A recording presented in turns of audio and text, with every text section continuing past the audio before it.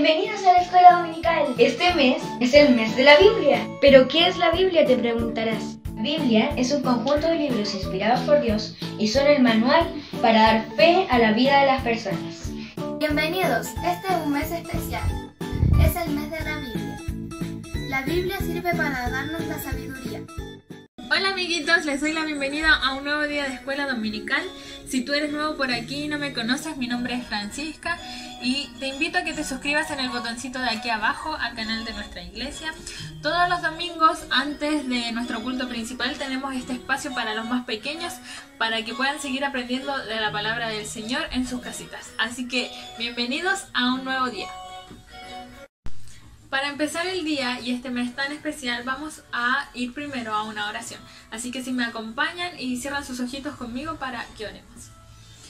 Papá, te damos gracias Señor por un día más de vida, Señor Jesús, un día más en que tú nos permites eh, abrir nuestros ojos, Señor, y estar con las personas que amamos, Padre Santo.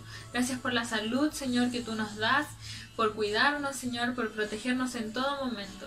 Gracias, Papito, te damos por todo lo que tú haces, Señor, en nuestras vidas. Te damos eh, toda la gloria y toda la honra, Señor Jesús. Te pedimos, Padre Santo, que este sea un día y un mes, Señor, de aprendizaje, Señor, y de muchas bendiciones. Que podamos seguir, Señor, conociéndote y amándote cada día más. Gracias, Señor, te damos en el nombre de Jesús, tu Hijo amado. Amén y amén. Y ahora que ya terminamos de orar y hicimos lo que primero debemos hacer en el día, que es dar gracias al Señor, eh, vamos a ir a unos videos para que se entretengan, se alegren, se animen y para después seguir aprendiendo.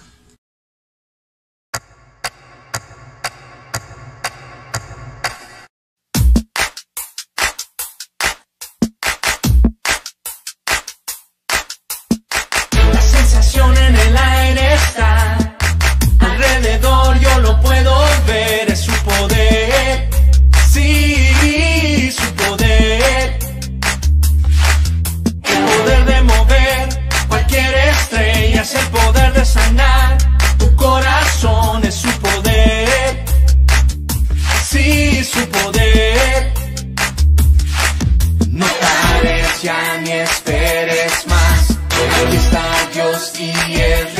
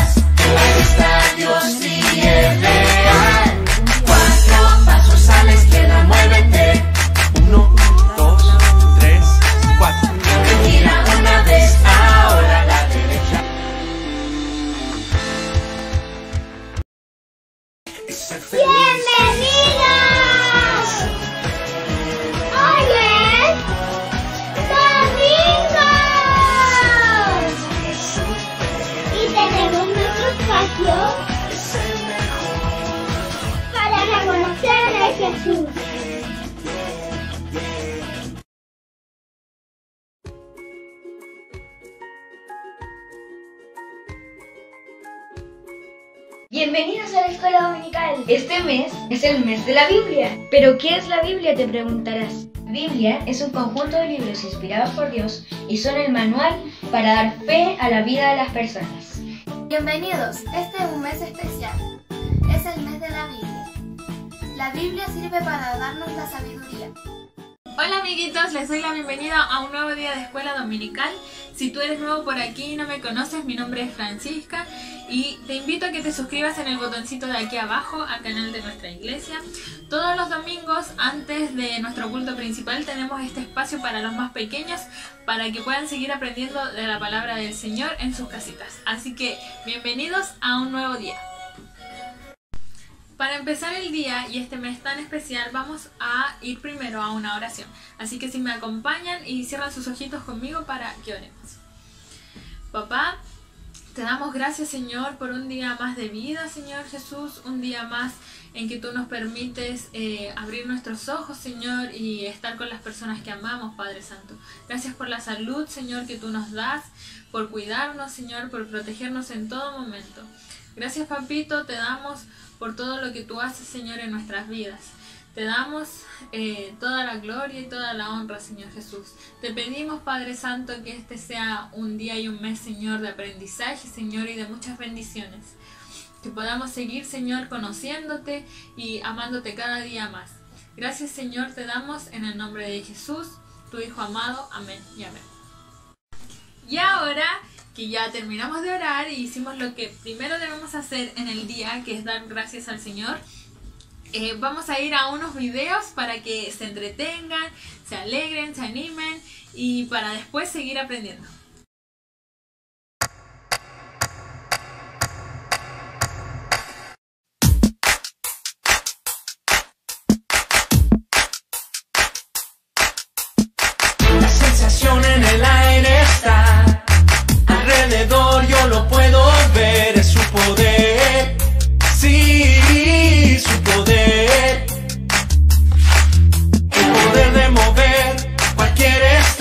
Estrella, es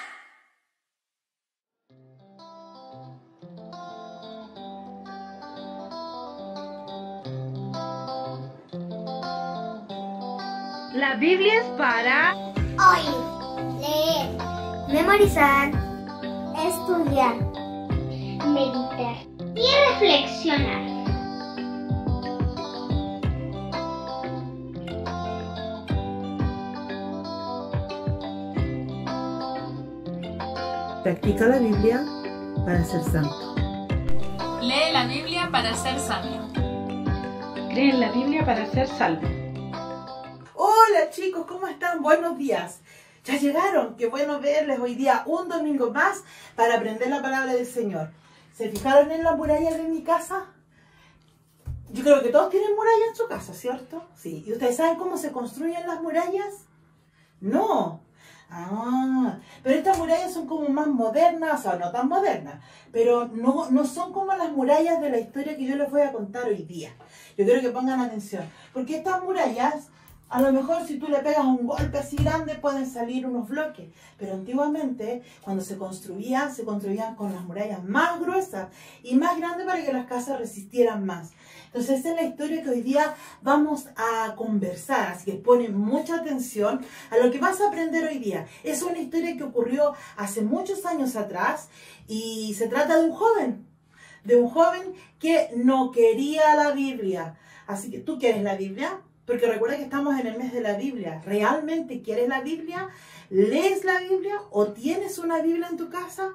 Entonces vamos a estar conversando la importancia de tener una Biblia. Así que pon atención, escucha la palabra del Señor y lo que hoy día vas a aprender, una historia nueva para que después tú se la cuentes a otra persona. Así que nos vemos, espérame. Ya, hemos vuelto ya. Estás en tu camita, donde estás, o en el living, en el comedor, tomando desayuno, no sé. Pero ya, quiero que pongas atención a la historia que te voy a contar hoy día. Esta historia ocurre en dos países. Uno en Italia y la otra parte de la historia ocurre en Suiza. Estos países están cercanos.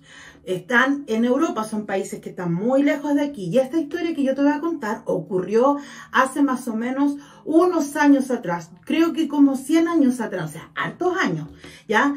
Y esto es de un joven, la historia de un joven que vivía en Italia. Pero a él le faltó el dinero, no tenía trabajo, así que él dijo, ¿saben qué? Me voy a ir a trabajar al otro país. ¿A qué país era? A Suiza, sí. Y se fue a trabajar en Suiza. En el camino era muy peligroso, así que la mayoría de las personas viajaban en grupo. Estamos hablando de muchos años atrás.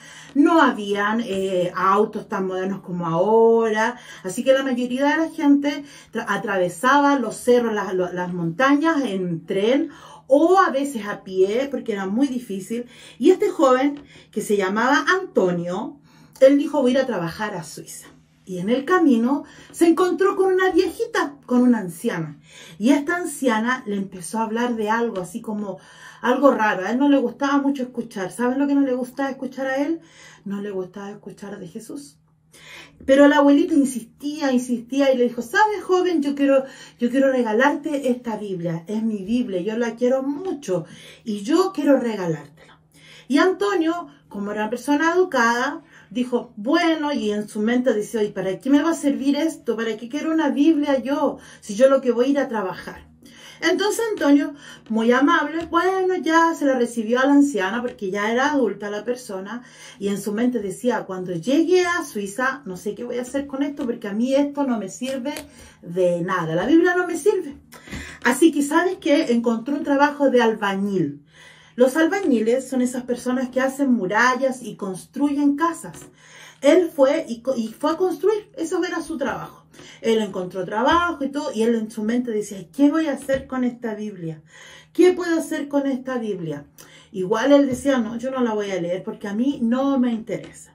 Así que con sus compañeros de, de trabajo ahí en la construcción, él en, haciendo la muralla encontró que podía esconder la Biblia dentro de la muralla y dijo, a ver, pues a ver quién es capaz de sacar la Biblia. Hicieron la muralla y entre medio de un hoyito de la muralla, él metió esa Biblia que la anciana le había regalado y tapó con cemento y todo, y nadie dijo, esa Biblia ahí se va a quedar. Y él, como no era cristiano y no creía en Dios y nada, dijo, a ver si el diablo la puede sacar, dijo así. Y él siguió construyendo, después pasó el tiempo, terminó de construir donde lo habían mandado y él se volvió a su país, a Italia. Unos años más tarde, en esa misma ciudad, ahí en Suiza, se produjo un incendio muy grande, muy grande, que muchas casas se quemaron. Y llegó un arquitecto que se llamaba Juan. Este arquitecto empezó a revisar todas las casas y le llamó la atención una de las casas que no era tan antigua. Y esta casa, adivinen qué casa era. Esa casa donde Antonio había construido unos años atrás y había escondido, ¿qué había escondido? La Biblia, ahí está. Y él comenzó a revisar las murallas para ver si podía arreglar la casa. La empezó a golpear. ¿Y saben qué? ¿Qué creen que pasó? A ver, ¿Qué creen que pasó? Sí, eso. ¿Saben qué? Se cayó un poco de cemento y encontró la Biblia. Estaba un poco así maltrecha, la, la, la, las tapas estaban un poco ahí sucias, pero él dijo, pero ¿a quién se le ocurre? Dijo él, Juan, esconder una Biblia aquí. La tomó la Biblia y tampoco él era cristiano, no era creyente, pero le llamó la atención. Le llamó mucho la atención y comenzó a leerla. ¿Y sabes qué? A leer la Biblia, de los salmos, a leer la vida de Jesús, la vida de, de los discípulos y todo, comenzó a sentir algo en su corazón, Juan. Y dijo, hoy dijo, qué raro. Y él dijo, empezó, siguió leyendo, leyendo, y un día descubrió que él era pecador que él necesitaba a Jesús en su vida. Así que él tomó la Biblia, oró a Dios y le dijo, yo quiero aceptar eh, todo lo que dice aquí la palabra. Y saben que él se convirtió en un proclamador de la palabra. Ahí en su ciudad, ahí en Italia, él volvió a Italia porque también era de Italia, él volvió a su ciudad y comenzó a regalar, a vender Biblia, a hablar de lo que Jesús había hecho en su vida y él oh, lo encontraba y toda la gente, uy, qué raro que él cambió este, esta persona. Así que él decidió recorrer pueblos y pueblos en Italia y llevó una maleta con Biblias y él se ganaba en las plazas, se ganaba en los lugares a que la gente pudiera comprar y él vendía Biblias. Y un día adivinen quién pasó por ahí. ¿Quién creen que pasó? Después de muchos años pasó ese joven que había puesto la Biblia en la pared. ¿Cómo se llama el joven? A ver, ¿alguien se acuerda? Antonio, muy bien. Y Antonio dijo, uy, de nuevo aparecen estas Biblias, dijo, y las miró así, y le dijo, pero yo me acuerdo, y él habló en voz alta. Y él dijo, yo me acuerdo una vez, dijo, de que yo hice algo con una Biblia, yo la puse, ahí debe estar esa Biblia en esa pared. Y Juan lo escuchó y le dijo, ¿qué has dicho? Le dijo. No, yo hace muchos años yo viajé a un país, allá a Suiza, hice un trabajo en una casa y yo escondí una Biblia. Y él esa Biblia todavía la tenía. Juan la tenía como un regalo de Dios. Sacó la Biblia y le dijo, mira, ¿es esta? Y él dijo, pero ¿cómo? Dijo, si yo dije que ni el diablo la podía sacar. Entonces Juan le dijo, es que no fue el diablo, fue Dios quien la sacó. Y esta Biblia cambió mi vida. Y, y Antonio estaba tan enojado, tan enojado, que saben lo que hizo, fue a buscar a sus amigos y le dijo, péguenle a este hombre. Y saben que le destruyeron las Biblias, le botaron todo y lo dejaron ahí a Juan botado. Y se fue y dijo, ya, me voy a olvidar de esto. ¿Cómo? ¿Cómo va a aparecer esa Biblia? Y él sabía que era la de, de la Biblia que le había regalado la anciana porque él le había hecho una marca a la Biblia. Ya pasó el tiempo, eh, Antonio siguió trabajando en la construcción y un día no se cayó de esos andamios que ponen de una altura y fue a dar al hospital. Y se enteró Juan, y Juan como era cristiano, él no le tenía rencor, él fue y lo fue a ver. Le llevó un regalo y le llevó una Biblia y le dijo, no, yo no quiero nada de eso y todo. Y Juan insistía y siempre lo iba a ver y le hablaba de Jesús hasta que un día Antonio empezó como dijo, ya, como que ya lo ganó por cansancio. Y dice que Juan siempre lo visitaba y le llevaba cosas para, para demostrar que él lo quería, que realmente él quería que conociera la palabra del Señor. ¿Sabes qué? Con el tiempo, Antonio comenzó a leer la Biblia. ¿Y saben qué libro, la Biblia ocupaba? La que él había escondido en la muralla. Él ya empezó a leerla y Juan le empezó a enseñar de la palabra y comenzaron a compartir. Y dice, con el tiempo, Antonio aceptó a Jesús en su corazón y formó una hermosa familia porque ¿saben qué? Se casó con la hija de Juan. Miren, se casó con la hija de, de la persona que le había predicado el Evangelio. Y, por, y, y se unieron estas dos vidas a través de esa Biblia que quedó ahí en esa muralla, ahí quedó escondida y pensaban que nunca más, pero por esa Biblia que quedó ahí, por esa anciana que le regaló la Biblia a Antonio, ellos pudieron conocer al Señor. Por eso es importante la Biblia. No es, una, no es solamente un libro cualquiera. Porque nosotros decimos que es la palabra del Señor y tiene una importancia tan grande para nosotros. No es cualquier cosa. Muchos, durante muchas décadas, la Biblia ha existido y la Biblia la han querido destruir.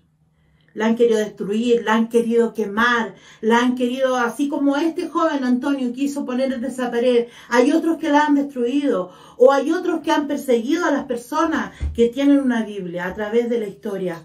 Pero aún así, siempre sale adelante. No importa dónde esté, la Biblia siempre va a existir. Ahora nosotros la tenemos en papel, la tenemos en nuestros celulares, la tenemos en el computador, como siempre hemos dicho.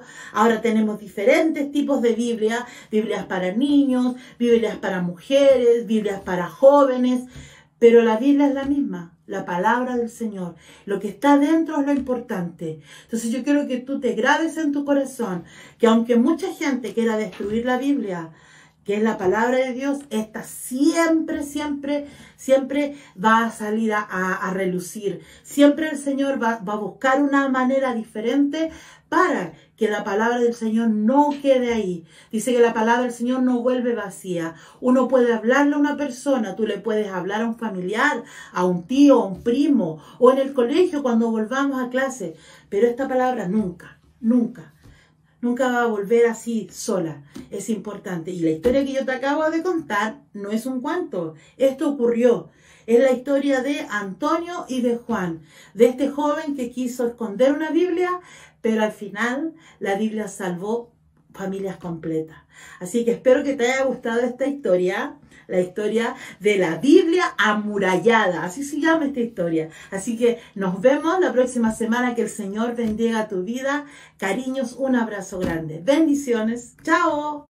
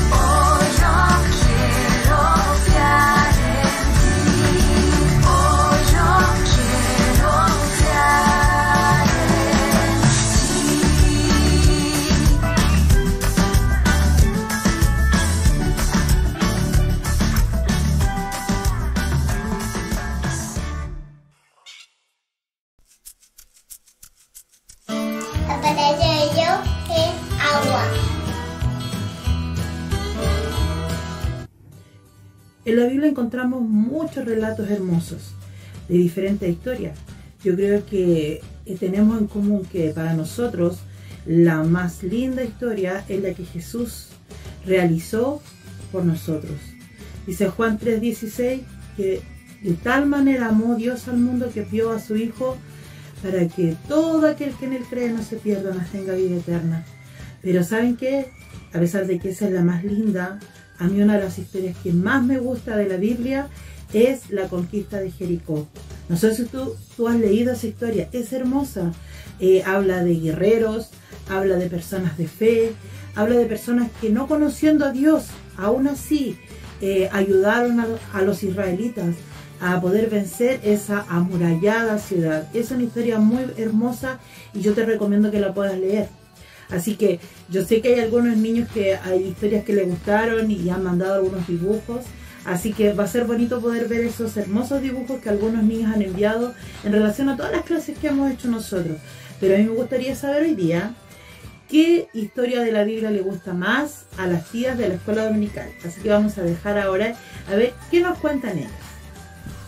Una de las historias que más me gusta de la Biblia es la historia de Noé, porque Noé nos enseña muchas cosas, como por ejemplo la obediencia, porque Dios mandó a Noé a hacer un arca en donde tenía que hacerla de cero, tenía que medir tantos metros, Dios le dijo a Noé, eh, este barco va a medir eh, tantos metros para allá, tantos metros de alto, tiene que tener una puerta de, de así de alta, le dio todas las medidas exactamente y Noé así lo hizo. No se puso a debatirle a Dios que cómo voy a hacer un, un arca si aquí no hay agua, o pero tan grande para qué, no, nada. Él, lo que Dios le dijo, él lo hizo. Porque Dios le dijo que hiciera este barco y que iba a mandar lluvia por 40 días y 40 noches y que iba a inundar la tierra. Y Noé tuvo que tener fe en las palabras de Dios, aunque él no conocía quizás lo que era un diluvio o cómo Dios iba a hacer llover tantos días. También eh, esta historia nos muestra que eh, a Noé no le importaba lo que opinaba la otra gente. Eh, por ejemplo, ¿se imaginan estar haciendo un arca ahí en medio de la nada o, aquí en, afuera de sus casas y que todos sus vecinos le digan, pero ¿cómo estáis haciendo un arca aquí si aquí no hay agua? ¿Cómo te la vais a llevar al mar? Y no, o sea, eh, a Noé no le importó ninguna crítica, ninguna burla que quizás le hicieron. Él confió y, tuvo fe en lo que Dios eh, le dijo. Que eso es otra cosa que nos enseña esta historia, a tener fe, a tener fe en lo que aún él no veía eh, en la tierra. Y eso es lo que me gusta de la historia de Noé, que nos enseña que tenemos que tener fe, a saber esperar, confiar y obedecer en lo que Dios nos dice y tener la certeza de que Él siempre va a estar ahí. Una de las historias que a mí me gusta mucho de la Biblia es la historia de José. Eh, el papá de José se llamaba Jacob y Jacob tenía 12, 12 hijos y José era el penúltimo de estos hijos. Y José era hijo de Jacob y Raquel, que Raquel era su segunda esposa. Y mm, bueno, José desde, el, desde que era más bien pequeño fue muy amado por su padre. Él le enseñó a leer, a escribir, a sumar, a restar, a muchas cosas eh, de las cuales en ese tiempo no, no se daban mucho. Por ejemplo, no todas las personas sabían leer, no todas las personas sabían escribir, pero eh, Jacob le enseñaba todas estas cosas a, a José, entonces empezó a, a, a ser una persona muy sabia en cuanto a conocimiento. Y eh, lo más importante que Jacob le enseñó a, José fue que, que conociera de Dios, que se acercara a Dios. Entonces eso era muy importante porque eh, José tenía una fe muy grande, él creía mucho en que Dios tenía un propósito para, para él. Bueno, todas estas cosas que Jacob fue haciendo con su hijo José comenzó a provocar celos y envidia en sus hermanos porque José tenía 10 hermanos más grandes que él. Entonces eso de que José fuera que fuera el regalón de su papá, de que Jacob lo llamara a él para todas las cosas, que lo quisiera tanto, comenzó a provocar mucho, mucho celo en sus hermanos. Em, pero sin embargo José aún así amaba igual a sus hermanos, igual él los amaba mucho a pesar de que ellos eran pesados con José porque a veces, eh, por ejemplo, estaban todos conversando y llegaba José y se quedaban callados, em, si se estaban riendo dejaban de reírse, todos se iban a hacer otras cosas, lo dejaban solo. Entonces eh, era triste igual eh, esos momentos para José, pero de todas formas él amaba a sus hermanos.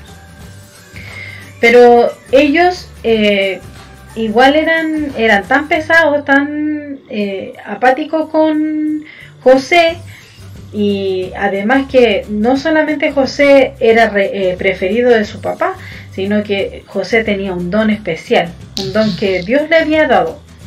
Y eso también provocaba celo y, envidia en sus hermanos. Entonces ellos lo que hacían, por ejemplo, el don importante que Dios- José tenía era que él podía reinterpretar los sueños. Entonces, por ejemplo, si tú tenías un sueño, él te podía interpretar y decir qué era, qué era lo que significaba ese sueño. Entonces sus hermanos eh, se burlaban de él y no le creían, no creían que José tenía ese don. Y no sabían que iba a llegar tan lejos por ese don, así que igual José se sentía un poquito triste. Así que un día eh, sus hermanos lo invitaron y lo llevaron al desierto y le dijeron eh, que fueran a, trabajar con las ovejas, que fueran, porque eran pastores de ovejas. Entonces los llevó para allá, lo llevaron para allá sus hermanos y venían unas personas que andaban eh, comprando esclavos y sus hermanos vendieron a José como un esclavo. Entonces cuando se fueron después a su casa le dijeron a Jacob que su hermano había muerto. Que, que, un, que un animal feroz se lo había comido y que solamente había dejado su manta, la manta que él tenía, y estaba toda rasgada de, de, arañazos de, de este animal feroz. Entonces Jacob tenía mucho, mucha tristeza. Eh, bueno, después de eso, eh, eh, José fue llevado a Egipto, lo compró Potifar, que era el capitán de la guardia de, del faraón. Ahí tuvo un problema con Potifar, a pesar de que él había sido muy fiel con Potifar, tuvo un problema por culpa de su esposa, lo mandaron a la cárcel. Eh, pero ahí en la cárcel fue un, un, buen momento, a pesar de que él estuvo en la cárcel un tiempo, fue bueno porque eh, ahí él eh, interpretó el sueño del copero del rey y de, no me recuerdo cuál es el nombre de la otra persona, pero de dos personas en la cárcel. Y eh, esas personas eh, le dijeron que qué podían ayudarle porque se habían dado cuenta que lo que él les había dicho era verdad, que se, se, se iba a cumplir lo que José les había dicho. Entonces le dijeron que qué le podía ayudar. Y solamente José les dijo que se acordaran de él cuando salieran de la cárcel. Así es que después el copero salió, así es que el faraón tuvo un sueño que no lo dejaba tranquilo, que se le repetía, se le repetía y estaba incómodo y, no lo dejaba en paz. Así es que eh, mandó a llamar a los sabios, a los brujos, a todas las personas que pudieran interpretarles el sueño y nadie pudo interpretárselo. Así es que eh, empezó a preguntarle quién conoce a alguna persona eh, que pueda interpretarme este sueño que me está eh, incomodando tanto. Así es que ahí el copero se acordó y le dijo, yo conozco una persona, yo conocí una persona en, el, en la cárcel que interpretó mi sueño y se hizo realidad. Me dijo que yo iba a salir de la cárcel y iba a volver acá y se hizo realidad. Y entonces el rey le dijo, ya, anda a buscarme a esa persona para que me interprete el sueño. Y, y lo fueron a buscar y le interpretó José el sueño del faraón. Y el faraón le dijo que desde ahí en adelante, por haber eh, ayudado a su pueblo, porque era lo que él había soñado, era algo muy grande, por haber eh, ayudado a su pueblo, iba a ser su mano derecha. Así es que debido a eso ayudó a su papá, los volvió a ver. Bueno, pasaron muchas cosas más que igual se las vamos a contar. Eh, porque es una historia larga la de José, pero es hermosa. Pero lo que más me gusta de esta historia es que aunque José vivió muchas cosas, muchas situaciones difíciles desde pequeño, porque era joven cuando vendieron a José sus hermanos, y ahí él tuvo que enfrentar muchas cosas, lo vendieron sus hermanos, que eran su sangre, su familia, eh, aparte se lo llevaron a otro lugar, estuvo preso, eh, muchas cosas difíciles. A pesar de todo eso, su fe nunca se quebró, siempre estuvo intacta. Y eso es lo que a mí me, me, me, gusta de esta historia porque en los momentos en que estoy triste, en los que siento que voy a decaer, viene a mi mente esta, este José y que a pesar de que él vivió muchas situaciones difíciles, más difíciles que lo que yo puedo haber vivido, él fue fiel y siguió adelante y creyó y confió en Dios.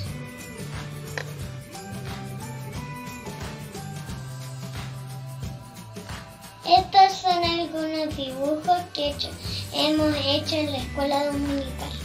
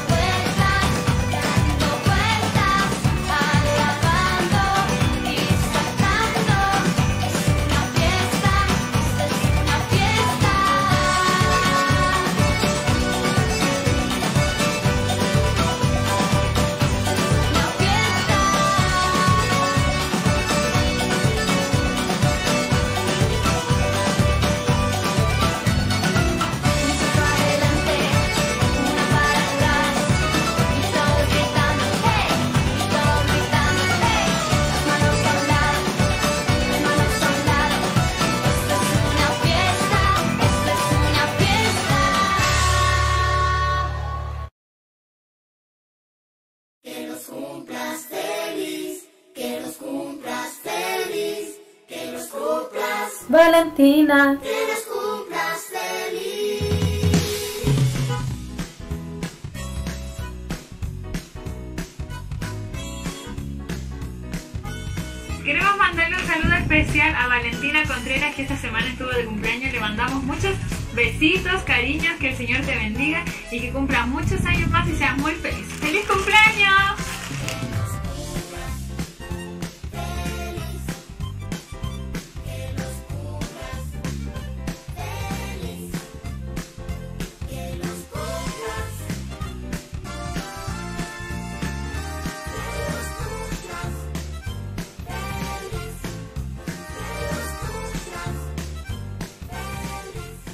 Ya niños, espero que les haya gustado esta clase. Como les digo todas las semanas, ha sido preparada especialmente para ustedes. Gracias por conectarse un nuevo domingo con nosotros. También les damos las gracias a los hermanos y espero que sigan participando con nosotros. No se desanimen, eh, ya queda poco para que podamos juntarnos y podamos encontrarnos en la iglesia y que podamos participar y cantar las canciones que hemos visto hasta hoy. Espero que se la estén aprendiendo, que puedan bailarla, aprendanse los bailes y si pueden mandar sus videos eh, de, los bailes que han hecho, que se han aprendido, mándenlos para que podamos ponerlo durante la escuela dominical. Recuerden que esto es para ustedes. Envíen todo lo que ustedes quieran y nosotros lo vamos a publicar para que ustedes puedan sentirse parte también de esta eh, escuela dominical. Un besito, muchas gracias por conectarse y por- a los hermanos también por conectarse con nosotros.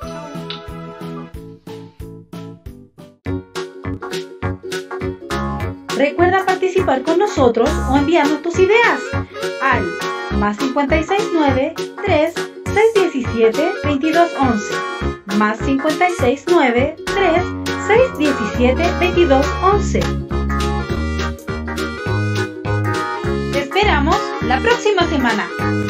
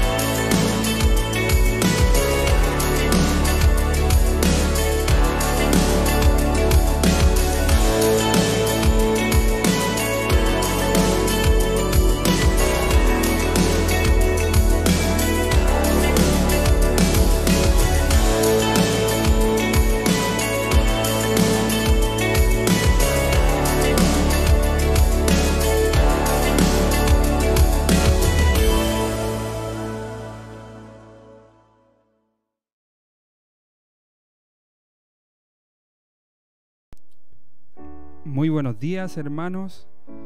Estamos ya un domingo más aquí en el culto de este día, domingo 13 de septiembre ya. Estamos ya en la mitad del mes de septiembre. Y como siempre decimos, Dios ha sido bueno, hasta acá nos ha acompañado. Él ha estado con nosotros en cada una de nuestras reuniones, en cada uno de nuestros cultos, en cada una de las reuniones de las damas, los discipulados y así sucesivamente. Así que agradecemos al Señor en este día. Espero que usted ahí ya esté listo en su hogar para adorar y bendecir el nombre del Señor en este día, que esté ahí dispuesto con su corazón para exaltar el nombre del Señor en este día. Amén. Damos gracias al Señor y vamos a comenzar este culto con una oración. Pero antes de eso, no se olvide de ahí mandar el link, compartirlo, eh, suscribirse si aún no lo ha hecho. Mándele el link ahí a sus familiares, a sus vecinos, a sus amigos, para que puedan escuchar el día de hoy palabra del Señor y puedan eh, adorar el nombre del Señor en este día. Así que vamos a elevar una oración a nuestro Padre en este día. Padre que estás en el cielo, vamos delante de tu presencia para adorarte, para exaltarte. Bendecimos tu santo nombre, Señor, en este día. Y queremos que seas tú, Señor, el personaje principal hoy en esta reunión. Que tu Espíritu Santo te muevas de la manera que tú desees. No queremos encuadrarte, no queremos encasillarte, no queremos que te muevas a nuestra manera, sino que queremos que tú tomes la libertad, tomes el dominio en, en este hogar y en el hogar de cada uno de mis hermanos que está conectado en este día. Padre, tú conoces nuestros corazones y tú nos aceptas así tal cual somos, Señor.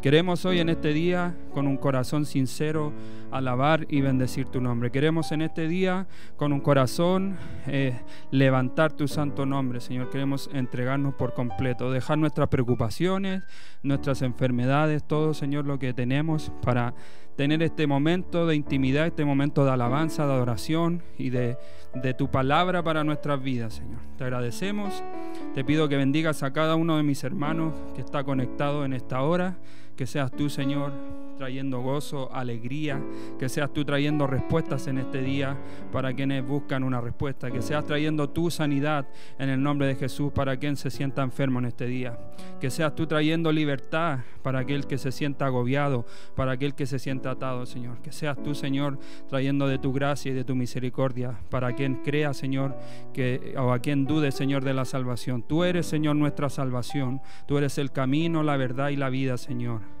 A ti te agradecemos en el nombre de Cristo Jesús. Amén y amén. Vamos a leer una porción de la palabra, como ya hemos estado diciendo desde el comienzo de este mes. Hoy celebramos en este mes de septiembre el mes de la Biblia y así también eh, lo hemos visto en la escuela dominical. Estuvo muy linda la escuela dominical el día de hoy, donde Erika ahí nos contaba esta historia de, del muchacho que escondió esta Biblia en un muro y que después tuvo esta importancia que llegó a otra parte y todos escuchamos esa historia maravillosa que contó Erika. Así que le invito a abrir su Biblia en el Salmos capítulo 8. Vamos a leer este salmo que tiene nueve versículos solamente. Así que ahí usted abra su Biblia, abra su aplicación, busque el salmo número 8 y vamos a dar comienzo a la lectura de la palabra del Señor. Dice así la palabra del Señor. Oh Jehová, Señor nuestro, cuán glorioso es tu nombre en toda la tierra. Has puesto tu gloria sobre los cielos. De la boca de los niños y de los que maman fundaste la fortaleza a causa de tus enemigos, para hacer callar al enemigo y al vengativo. Cuando veo tus cielos, obra de tus dedos, la luna y las estrellas que tú formaste, digo, ¿qué es el hombre para que tenga de él memoria? Y el Hijo del hombre para que lo visites Le has hecho poco menor que los ángeles y lo coronaste de gloria y de honra. Le hiciste señorar sobre las obras de tus manos, todo lo pusiste debajo de sus pies, ovejas y bueyes, todo ello y asimismo las bestias del campo, las aves de los cielos y los peces del mar, todo cuanto pasa por los senderos del mar. Oh Jehová, Señor nuestro, cuán grande es tu nombre en toda la tierra. Damos gracias al Señor, declaramos de su gloria, de su grandeza en este día. Así que prepárese para cantar en esta hora. Si usted quiere aplaudir en su casa, aplauda. Si usted quiere cantar fuerte, hágalo también ahí en su casa. Que le escuchen los vecinos que en este día usted está alabando al Señor en su hogar. Amén.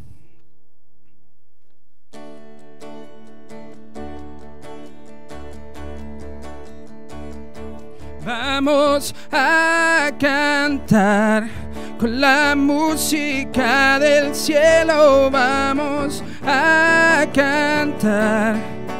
Alegres porque escuchas cuando cantamos para exaltar tu nombre.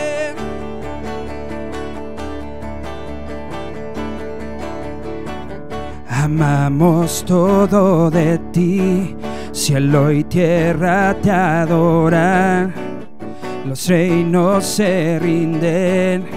Hijo de Dios, tú eres por quien. Vamos, sígale, tú eres por quien. Tú eres por quien vivimos hoy.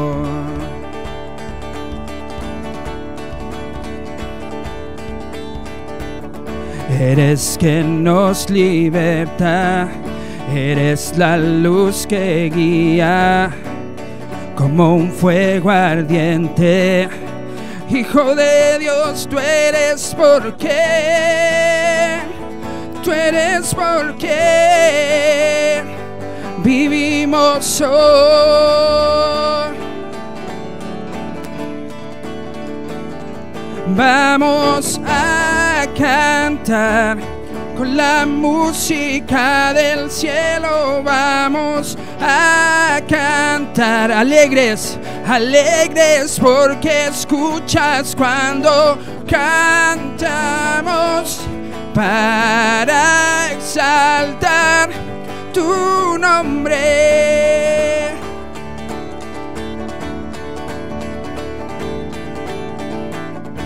Amamos todo de ti Cielo y tierra te adoran, los reinos se rinden. Hijo de Dios, tú eres por quien, tú eres por quien, tú eres por quien vivimos hoy. Eres quien nos liberta, eres quien nos liberta Eres la luz que guía como un fuego ardiente. Hijo de Dios, tú eres por qué, tú eres por qué vivimos hoy. Vamos a cantar, vamos a cantar con la música del cielo vamos a cantar. Alegres porque escuchas cuando cantamos para exaltar tu nombre.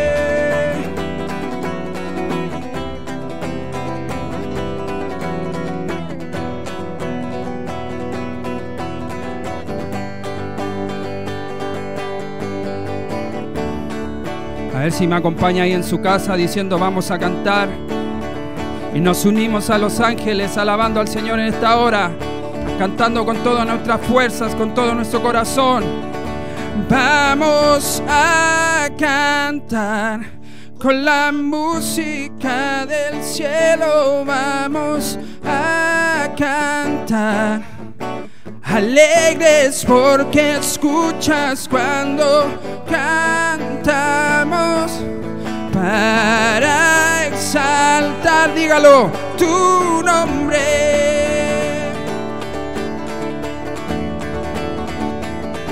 Vamos a cantar con la música del cielo, vamos a cantar.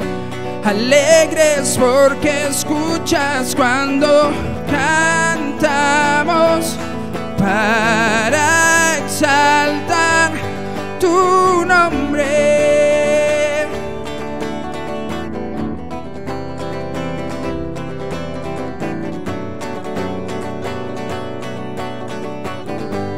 Vamos, sígale. Tu nombre.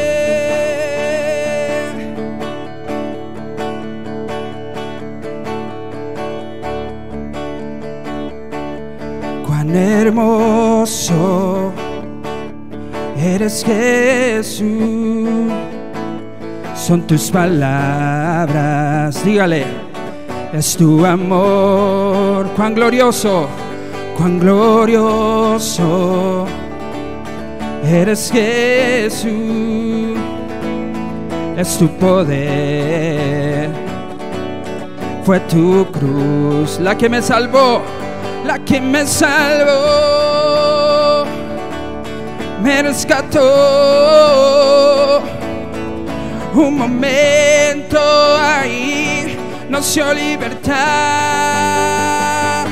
y te doy gloria, gloria, te doy gloria, gloria, te doy gloria, gloria a ti Jesús. Yo doy gloria, gloria, te doy gloria, gloria, te doy gloria, gloria a ti Jesús. Dígale cuán hermoso, cuán hermoso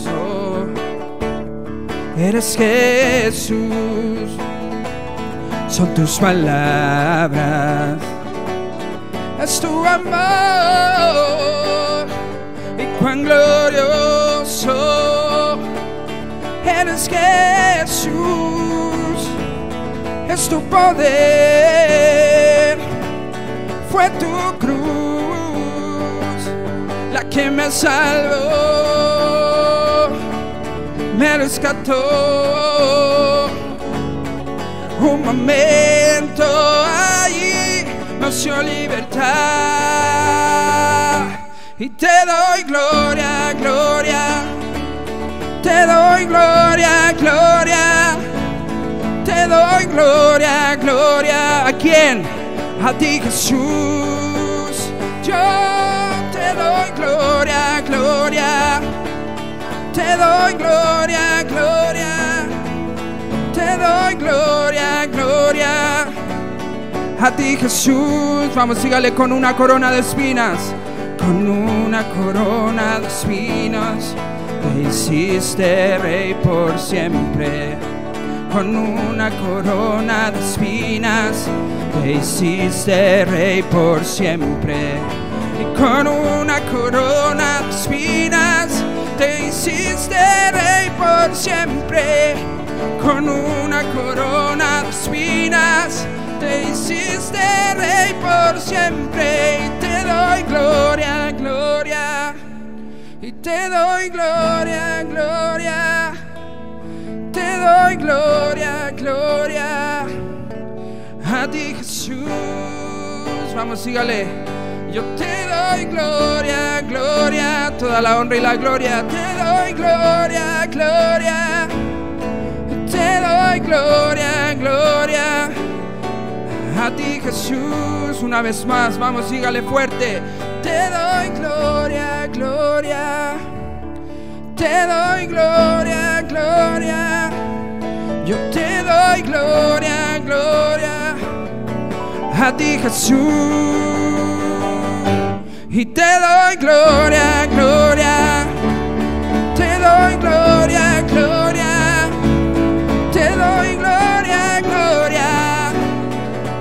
Jesús, a ti Jesús. Así es, Señor, a ti te damos toda honra y toda gloria sean dadas para ti, Señor. Vamos a ver un video en esta hora que nos habla de lo que estamos conmemorando este mes, el mes de la Biblia.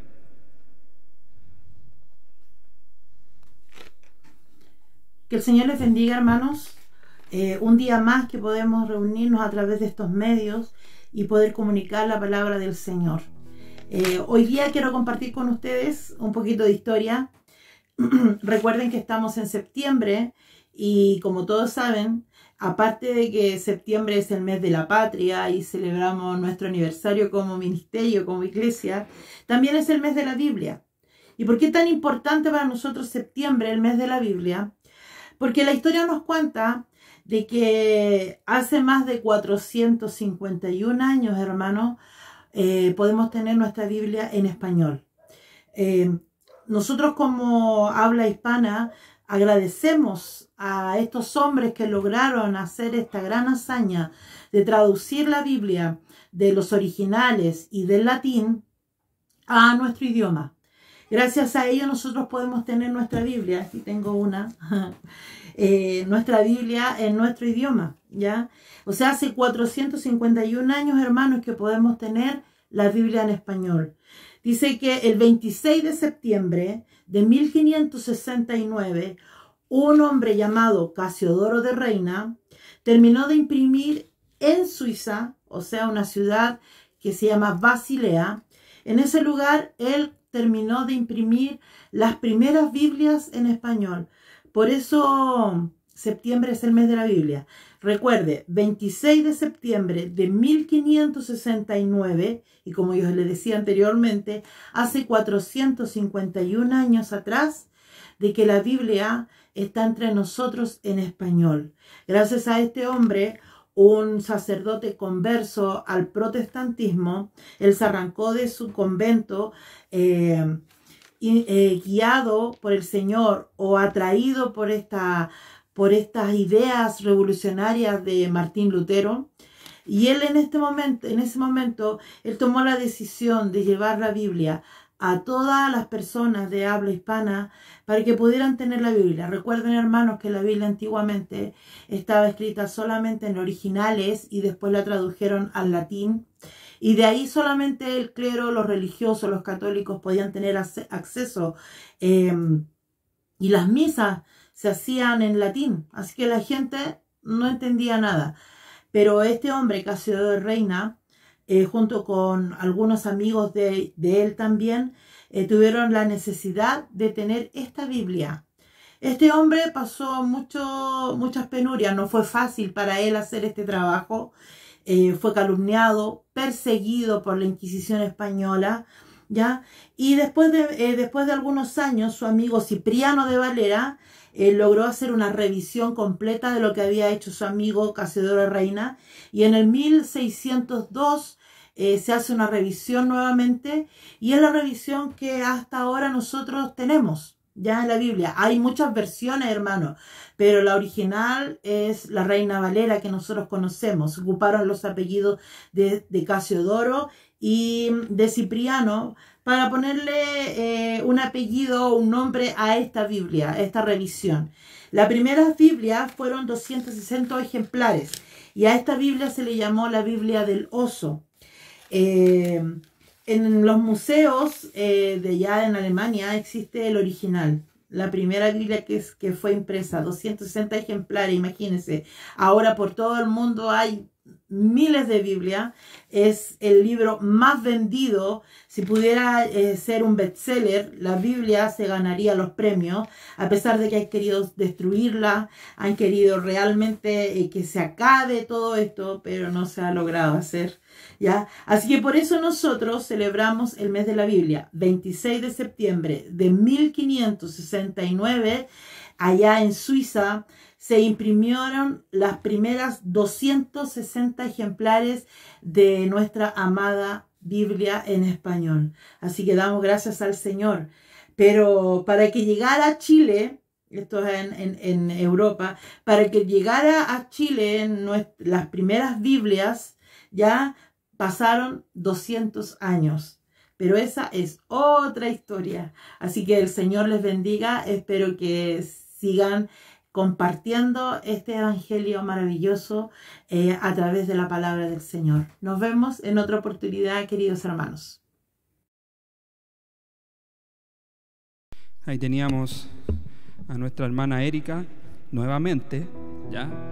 Pero, pero eh, ella ahí nos estaba explicando los comienzos del cómo llegó la Biblia y todo eso. Así que vamos a seguir alabando al Señor en, en esta hora. Vamos ahí a cantar un par de cancioncitas más, así que ahí usted con todas sus ganas, con toda su fuerza, tiene que cantar ahí en su casa bien fuerte. Amén.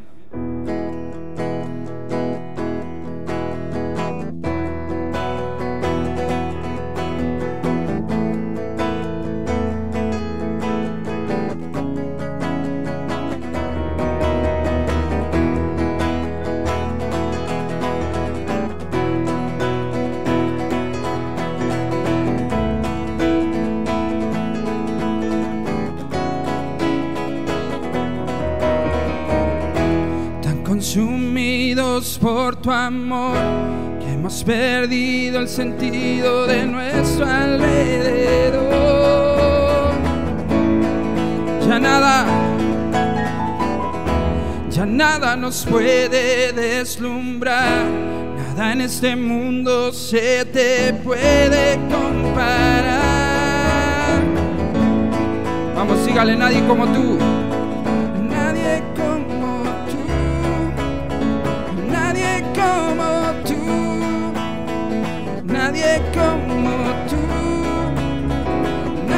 Como tú. Jesús, eres nuestra herencia, más que suficiente. Nuestro redentor y rey Jesús, usa tus caminos andaremos en tu luz, a la luz de tu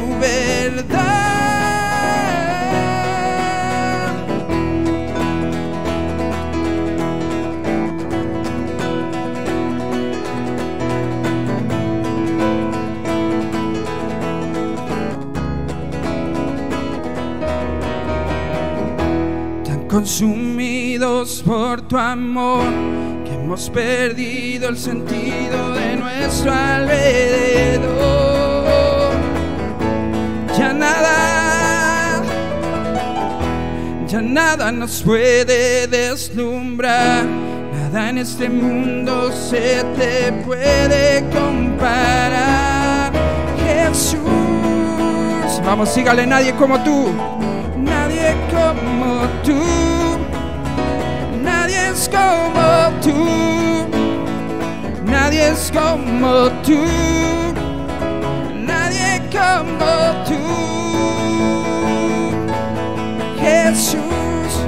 eres nuestra herencia, más que suficiente, nuestro redentor y rey Jesús, a tus caminos y andaremos en tu luz, a la luz de tu verdad.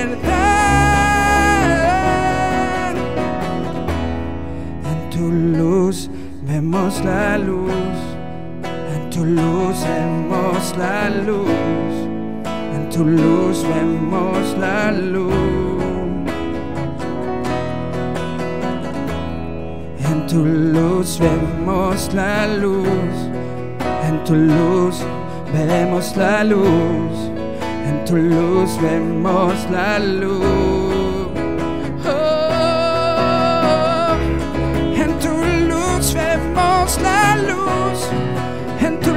Luz vemos la luz, en tu luz vemos la luz. Oh, una vez más. En tu luz vemos la luz, en tu luz vemos la luz, en tu luz vemos la luz.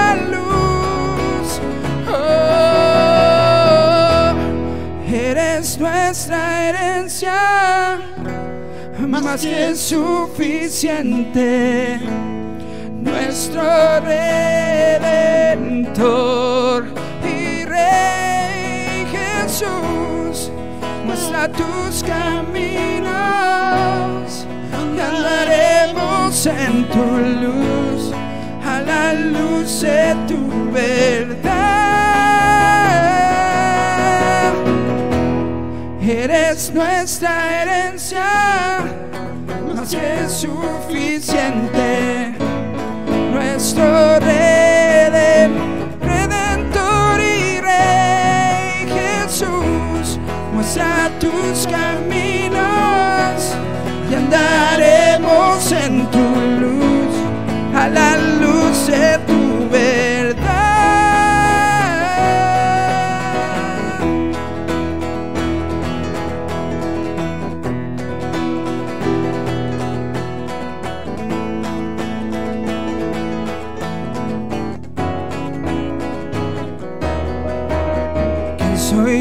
Para que en mí tú pienses y que escuches mi clamor? Dígale, es verdad. Y es verdad lo que tú hoy me dices, que me amas. Dígale, me asombras, me asombras.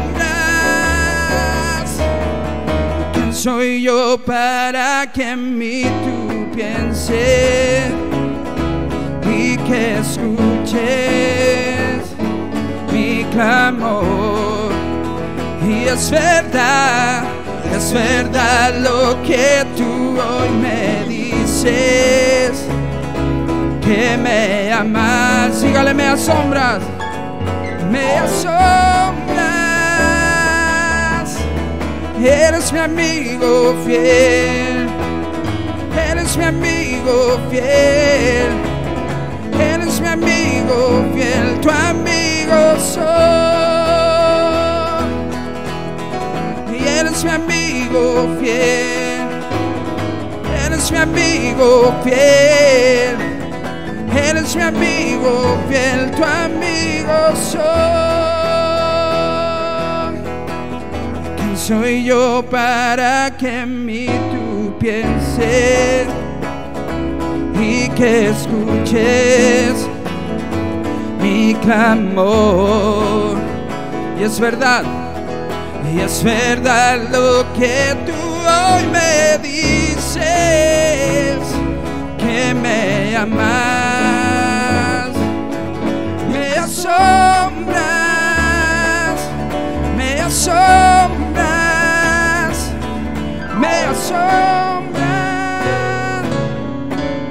Eres mi amigo fiel, eres mi amigo fiel. Eres mi amigo fiel, tu amigo soy. Eres mi amigo, eres mi amigo fiel. Eres mi amigo fiel. Eres mi amigo fiel, tu amigo soy.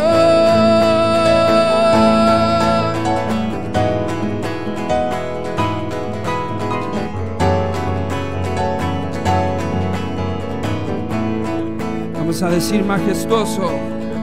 Majestuoso, poderoso,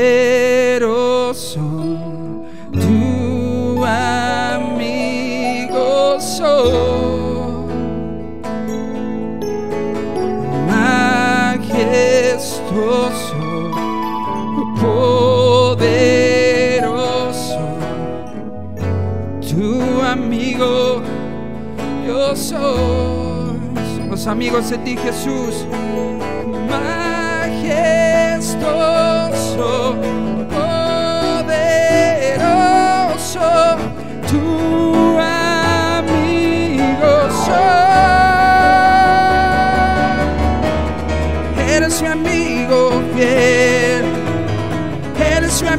amigo fiel. Eres mi amigo fiel, tu amigo soy, tu amigo soy, eres mi amigo fiel, Eres mi amigo fiel. Eres mi amigo fiel. Tu amigo soy. Tu amigo soy. Tu amigo soy. Tu amigo soy.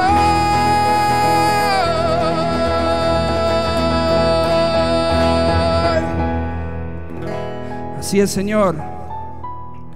Somos tus amigos, Señor. Tú eres, tú eres, Señor, nuestro amigo también, Señor. Queremos tener esa amistad constante contigo. No vivir de momentos, no vivir de, de situaciones, sino que queremos estar siempre en comunicación contigo, siempre en comunión contigo. Una amistad íntima contigo, Señor. Vamos a ir a ver otro video que nos habla de la Biblia.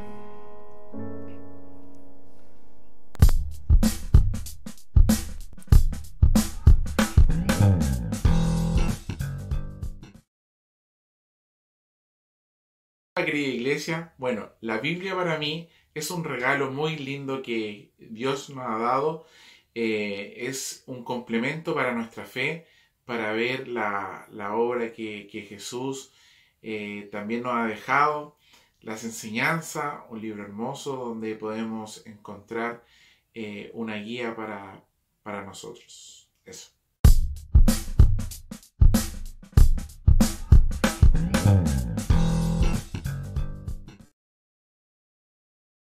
Ahí teníamos a nuestro hermano Cristian Orellana respondiendo a esta pregunta. ¿Qué es la Biblia para ti? Así que atento hermano porque usted también le puede llegar esta pregunta. ¿Qué es la Biblia para ti? Vamos a seguir cantando al Señor en esta mañana.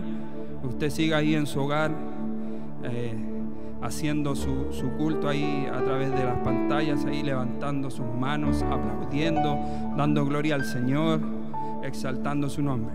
Amén.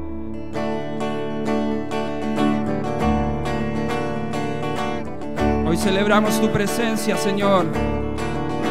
Y nos gozamos en tu presencia, nos deleitamos en ti.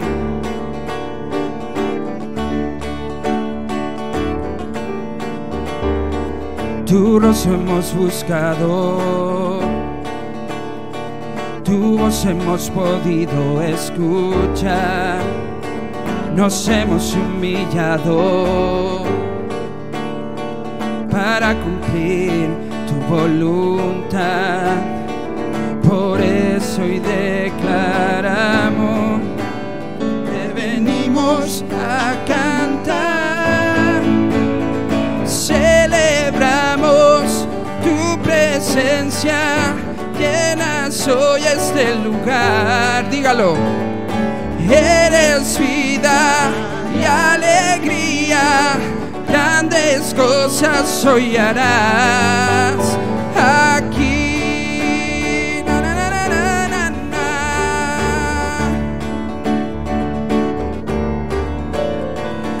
Rostro hemos buscado, dígale, tu voz hemos podido escuchar, nos hemos humillado para cumplir hoy tu voluntad. Por eso hoy declaramos, te venimos a cantar,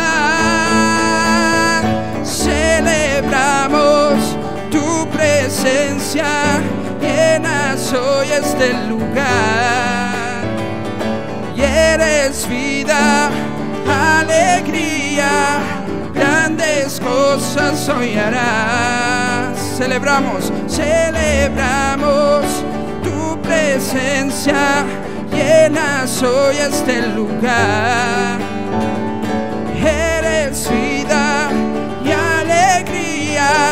Grandes cosas hoy harás. El enfermo, el enfermo sanará y el ciego hoy verá, el esclavo libre será. Maravillas obrarás para todo aquel que cree, tus prodigios revelará.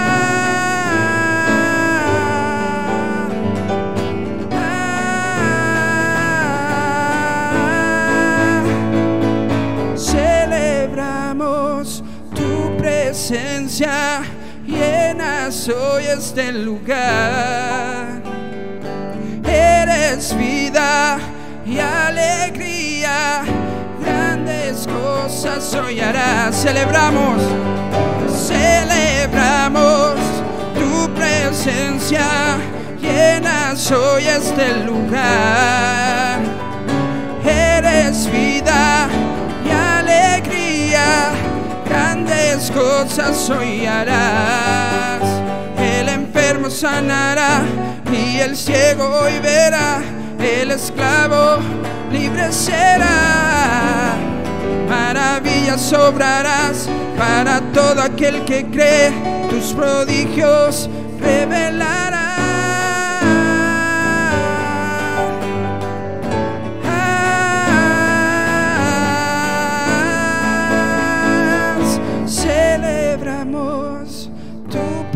Presencia, llenas hoy este lugar. Eres vida y alegría, grandes cosas hoy harás. Vamos, sígalo. Celebramos tu presencia, llenas hoy este lugar. Y tú eres vida alegría, grandes cosas hoy harás aquí.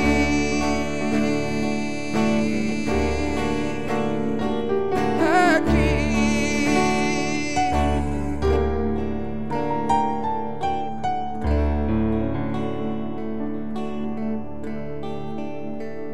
Así es, Señor. Hoy celebramos tu presencia. Hoy celebramos tu presencia, Dios. A ti te cantamos, Señor. Tú eres digno de recibir toda honra y toda gloria. A ti, el alfa y la omega, el principio y el fin, y el gran yo soy,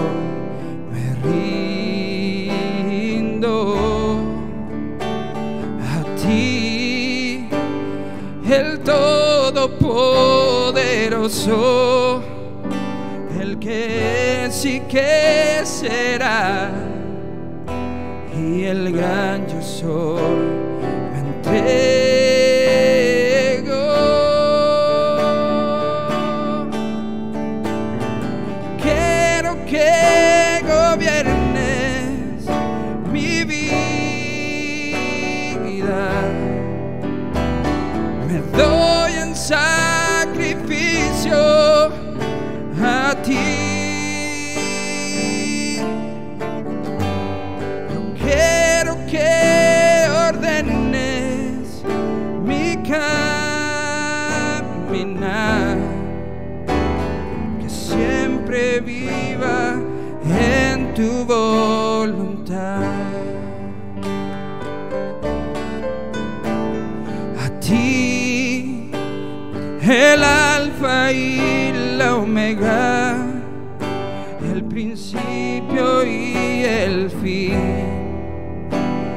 el gran yo soy, me rindo oh, a ti, el Todopoderoso, el que y que será, y el gran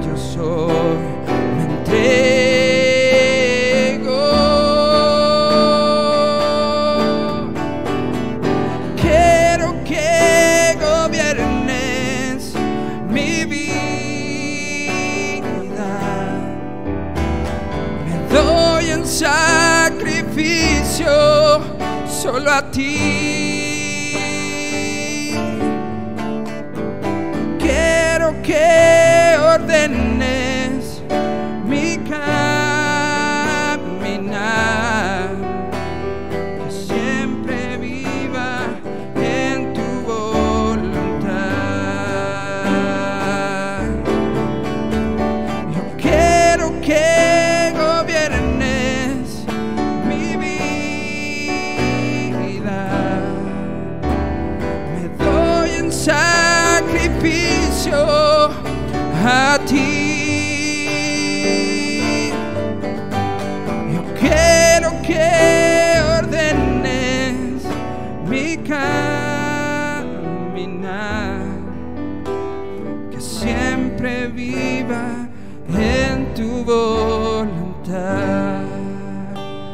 Señor. Temprano yo te buscaré. De madrugada yo me acercaré a ti. Mi alma te anhela y tiene.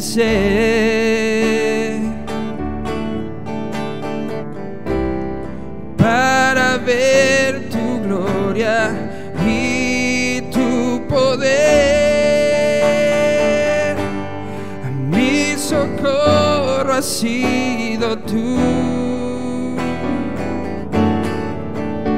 En la sombra de tus alas yo me posaré. Mi alma está pegada a ti, porque tu diestra, si es Señor, solo tu diestra me ha sostenido. Oh, tu diestra me ha sostenido.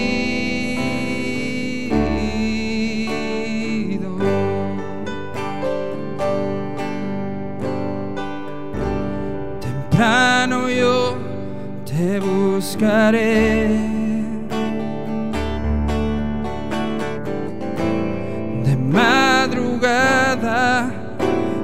Acercaré a ti. Mi alma te anhela y tiene sed para ver tu gloria y tu poder. Mi socorro ha sido tú en la sombra de tus alas y yo me posaré. Mi alma está pegada a ti, porque tu diestra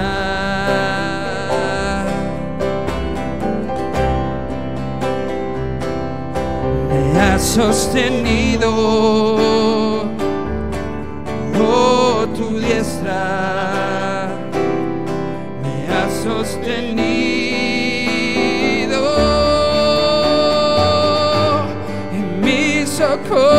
Ha sido tú. En la sombra de tus alas y yo me posaré.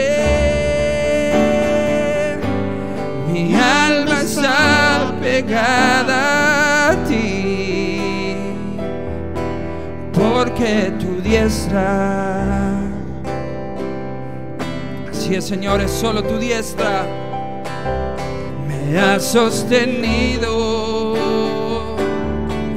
Oh, tu diestra me ha sostenido.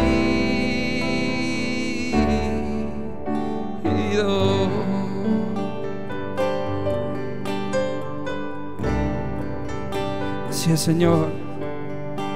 Tu diestra nos ha sostenido, Señor. Nos hemos podido refugiar en ti, Señor.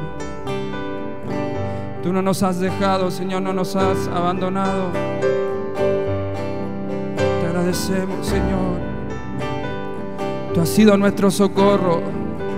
Tú has sido nuestro ayudador.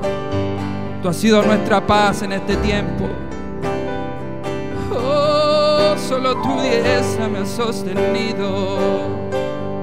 ¿Qué sería de mi vida si no estuvieras aquí? estaría yo? ¿Dónde andaría yo sin ti? Que tú me has sostenido. Oh, roca fuerte, mi castillo, mi guardador, mi santo. Socorro, has sido mi guardador, tú eres mi sanador, tú eres mi Dios proveedor. En ti lo tengo todo, nada me falta estando en ti. Mi alma se goza en tu presencia, descansa en ti. Vamos, comienza a descansar en el Señor, comienza a llenarse de su paz. Si han sido tiempos difíciles para usted, si han sido tiempos donde usted no encuentra respuestas, donde se ha sentido agobiado, donde se ha sentido cansado, donde piensa que estos problemas no van a terminar nunca, el Señor dice, yo soy tu paz, yo soy tu paz, yo estoy aquí para abrazarte, yo estoy aquí, estoy aquí, así dice el Señor, y yo soy tu paz, yo soy tu paz. Oh. No desconfíes del Señor, no desconfíes de lo que Él puede hacer. Oh, yo te he escuchado, yo he escuchado tu oración, yo he escuchado tu gemir y yo estoy aquí, yo estoy aquí sigo teniendo el control. No dudes, no dudes, no dudes de eso. No, no, no.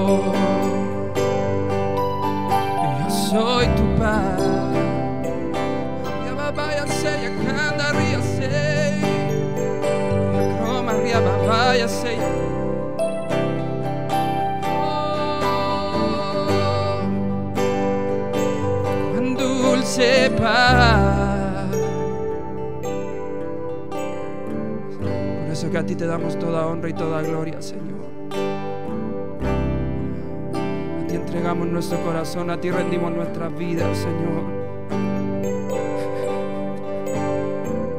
Gracias, Señor, porque podemos sentir tu paz. Comienza a adorar al Señor ahí en su hogar, levante sus manos. Dígale, yo quiero llenarme de tu paz, yo quiero llenarme de tu espíritu, yo quiero que tú seas mi guía. Yo quiero que tú seas mi guardador. Yo quiero refugiarme en ti. Yo quiero confiar, quiero confiar por completo en ti. Que nada, nada ni nadie me tocará estando contigo, Señor.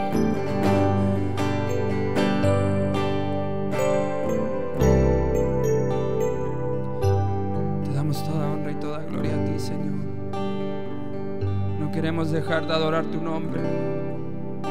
No queremos dejar de cantar sobre tus atributos, Señor, sobre lo que tú eres. Porque tú saliste a nuestro encuentro. Tú saliste a nuestro encuentro para cambiar nuestras vidas. Para darnos una nueva vida.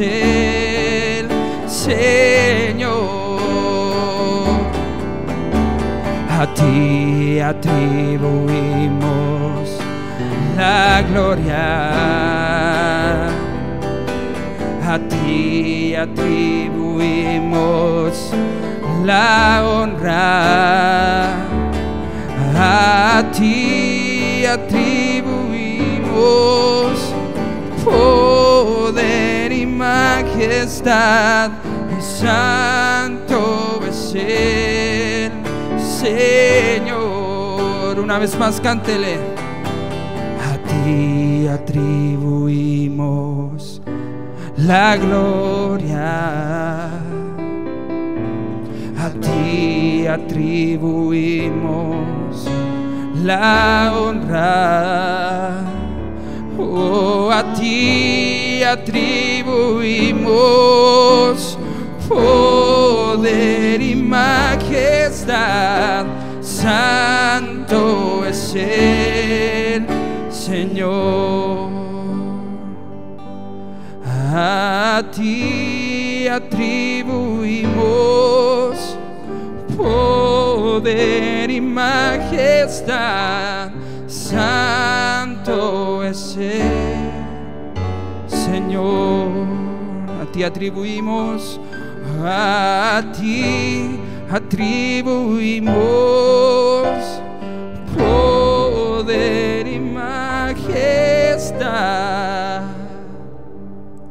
nos unimos a los ángeles en esta hora para decirte santo, santo, santo. Santo es el Señor. Así es, Señor. Tú eres santo, tú eres santo. Qué hermoso es estar en tu presencia, Señor. Qué hermoso es estar en tu presencia. Honra y gloria a ti. Levante sus manos, adora al Señor en esta hora.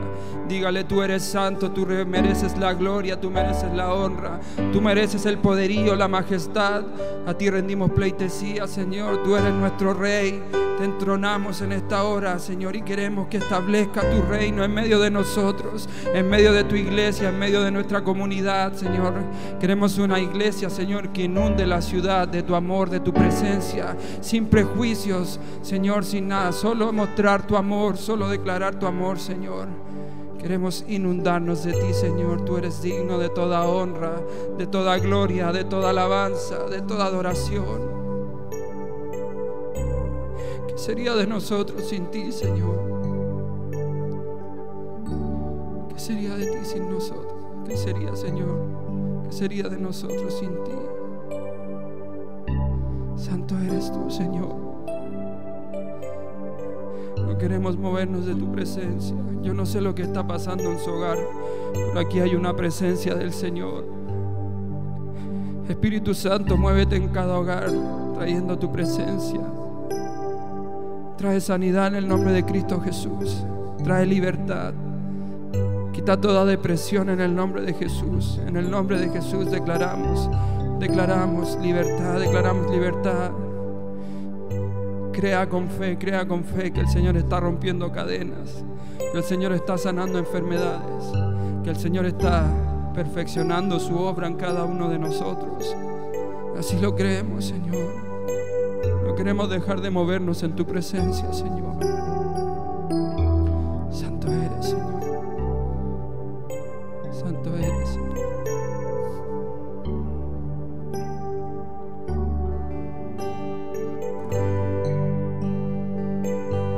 Santo eres, Señor.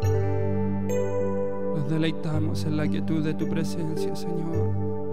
Inúndanos, inúndanos con tu presencia, Señor. Hoy abrimos nuestro corazón, Señor. Abrimos nuestro corazón para escuchar de tu palabra.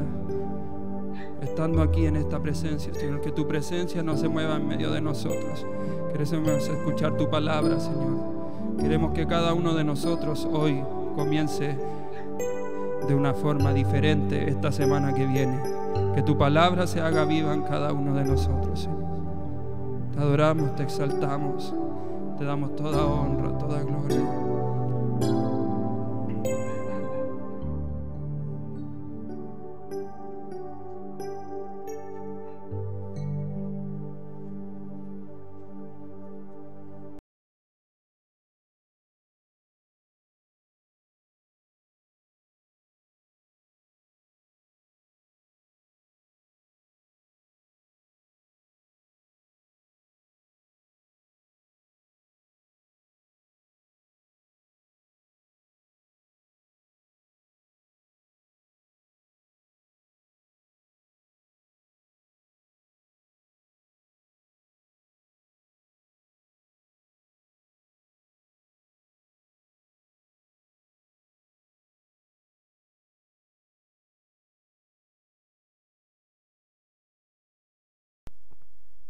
El Señor les bendiga, queridos hermanos. Eh, un buen domingo para, para, estar reunidos como comunidad, como iglesia. Así que agradecido de Dios por, por lo que el Señor ha hecho en nuestras vidas durante este tiempo. Eh, quiero saludar a todos los hermanos que nos ven eh, a través de, de, las diferentes plataformas. También, ¿no es cierto?, un abrazo gigante para cada uno de ellos. Yo sé que allá el pastor en Casas Viejas, eh, Pastor Díaz, nos ve, así que con toda su familia un saludo cariñoso para allá. También a, nuestro hermano Cancino, Eduardo, yo sé que ellos siempre nos ven, ayer tuvieron una complicación con la hermana Violeta de Salud, así que un abrazo también cariñoso para ellos. Eh, saludamos a toda la familia que nos ve, a, a nuestros hermanos allá en Pomaire, a, todos los que comparten, ¿no es cierto?, con nosotros esta, esta comunidad Kadosh que llamamos hoy día. Así que un abrazo, un abrazo para los que se integran, para los nuevos, un abrazo para los hermanos que, que han decidido estar con nosotros. También eh, para ellos un gran saludo, un gran saludo para todos ellos, que Dios les bendiga mucho. Esperamos salir juntos, esperamos salir en comunidad juntos de esta situación tan crítica que nos ha tocado vivir. Así que un abrazo cariñoso, alentarlos. Eh, a través de la adoración podemos sentir la presencia de Dios que calma nuestras ansiedades, que calma también nuestros, nuestras ansiedades, depresiones, angustias. Así que agradecidos por, por, la presencia grande del Espíritu Santo también en nuestra reunión. Así que, mis hermanos, eh, invitarles, ¿no es cierto?, ahora a escuchar palabra del Señor. Como dicen los chiquillos, tenga su tecito, un café, eh, pero ponga atención a la palabra que, el Señor tiene para cada uno de ustedes. Eh, damos gracias al Señor por, por su eterna y gran misericordia. Oramos para comenzar este tiempo y esta palabra. Papá, te damos gracias por el tiempo que nos das de poder compartir esta palabra, de poder transmitir, Señor, a los hermanos en sus casas, Señor, una palabra, un tiempo de adoración, tu presencia impartida, Señor, en cada hogar. Gracias. Gracias por los hermanos que se conectan fielmente, por los amigos que nos ven también y por aquellos que hoy día por primera vez también se conectan, los bendecimos, Señor, en tu nombre. Esperando, Señor, que encuentren una palabra que les ayude, que les aliente, que les confronte. Una palabra, oh Dios, que sea de parte tuya para sus vidas. Te damos gracias, Jesús, por este tiempo. Amén y amén.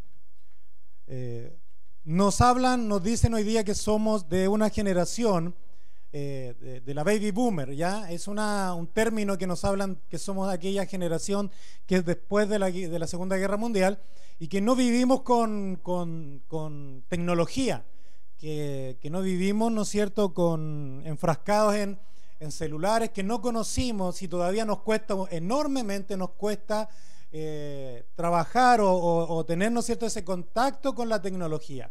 Somos aquella generación que que jugamos, eh, salíamos a jugar a la calle, que, que, inventábamos de cualquier cosa, ¿no es cierto?, alguna, algún juego eh, o cualquier artefacto nos servía para, eh, de alguna forma, jugar y entretenernos. Somos de esa generación, ¿ya? ¿Y, y por qué quiero, quiero hablar de esto? Introducir un poquito, porque somos de la generación que, de, ¿no es cierto?, de un palo nos, armamos un caballo, o de, de, ¿cómo se llama?, de una, de unos coligües, ¿no es cierto?, hacíamos eh, una espada o de algún palo de escoba eh, nos hacíamos alguna espada. Yo recuerdo, y eso es parte de los que somos de esta generación, que siempre nos acordamos de, de, de nuestro pasado. Soy de, sí, soy de aquellos que agarrábamos con nuestros hermanos un palo y nos poníamos a jugar a los espadachines. Era una, una, ¿no es cierto? Era una experiencia especial, cuando, sobre todo cuando veíamos alguna película de, de, de, caballeros, de la mesa redonda, del rey Arturo, ¿no es cierto? Nos poníamos a jugar y nos daba por, ¿no es cierto?, esa necesidad de mostrar nuestra, ¿no es cierto?, nuestras habilidades de espadachines con un palo de escoba, con un palo, ¿no es cierto? Pero todo esto llegaba, eh, todo esto, ¿no es cierto?, tenía un, como una especie de, de, de final. Siempre el final inesperado era o que nos pegábamos en los dedos, Era, era así como te pegabas en un dedo y ya cooperaba el tema del espadachín o terminaba, ¿no es cierto?, con un palo en la cabeza. Eh, eh, y eso, un, un, chichón, un cototo, no sé cómo eh, le dirán en otros lados, ya, y ahí ya, ¿no cierto?, terminaban nuestros juegos de, de espadachines y de espadas y de caballeros. ¿ya? Y era eso nuestra, ¿cómo se llama?, nuestra, nuestra incursión. la experiencia, ¿no es cierto?, el juego o, o las consecuencias de, nos enseñaron muchas cosas. Y tomábamos determinación en base a, en base a eso, ¿ya? Es decir, no vamos a jugar nunca más a, ¿no cierto?, a, a, los espadachines. O no vamos a ocupar un palo tan grueso para jugar a los espadachines. Entonces, de, la, de, la, de las situaciones críticas o de esta situación, ¿no es cierto?, complicado, de este eh, suceso inesperado, un dedo morado, un, ¿no cierto?, un palo en la cabeza, eh, nos llevaba, ¿no cierto?, a tomar determinaciones de no voy a jugar nunca más a esto. Pero igual, hermanos, jugábamos, igual volvíamos a jugar, igual nos volvíamos a golpear y igual, ¿no es cierto?, volvíamos a experimentar el mismo dolor y las mismas sensaciones, ¿no es cierto?, de, de, de un golpe. ¿Por qué? Porque obviamente quiero introducir esto en el tema y es para, ¿no es cierto?, indicarles en relación a eso. El, el jugar a los espadachines era nuestra afición, pero siempre terminábamos con algún dolor o alguna mala experiencia que nos hacían tomar determinaciones, decisiones, de decir, nunca más lo vamos a hacer. La palabra de hoy día nos habla de espadas y eso es un poco, ¿no es cierto?, lo que me gustaría eh, hablar. La palabra de Dios dice que es como una espada y eso es hoy día a lo que me gustaría, ¿no es cierto?, referirme. Bajo, ¿no es cierto?, este contexto de, de, este mes de que estamos hablando de la Biblia, me gustaría hablar sobre la palabra de Dios. Y acá, ¿no es cierto? Ya se ha hablado, la palabra de Dios es como una espada, espada perdón, de doble filo. El texto de hoy día se encuentra en Hebreos. El texto de hoy día se encuentra en Hebreos, capítulo 4, versículo 12. Me gustaría de alguna manera que fuera sensible a la voz de Dios, que tuviera la capacidad, ¿no es cierto?, de recibir esta palabra y de, de poder tomarla, recibirla y si hay que desaprender algunas cosas, desaprendamos, tengamos la voluntad de decir ya, lo aprendí mal y hoy día lo aprendo de la manera correcta. Entonces, le invito a que eh, tengamos esta palabra en, en, Hebreos capítulo 4, versículo 12. Esta es la palabra, ¿no es cierto?, que, que, que nos habla. La palabra de Dios dice es viva y eficaz. Voy a leer la versión Reina Valera. La palabra de Dios es viva, ¿no es cierto?, y eficaz, y más cortante que toda espada de dos filos, penetra hasta partir el alma y el espíritu, las coyunturas y los tuétanos, y discierne los pensamientos y las intenciones del corazón. Esta es, ¿no es cierto?, palabra del Señor. Voy a repetir, la palabra de Dios es viva y eficaz y más cortante que toda espada de dos filos, penetra hasta partir el alma y el espíritu, las coyunturas, los tuétanos y disciernen los pensamientos y las intenciones del corazón. Amén. Espero que ahí lo tenga y lo subraye hoy día. Como yo les decía, la, la palabra hoy día, el, escritor le habla, ¿no es cierto?, a personas que conocen y saben de qué se trata para nosotros, ¿no es cierto? Eh, y, entienden de qué se trata, ¿no es cierto? El tema de la espada de doble filo.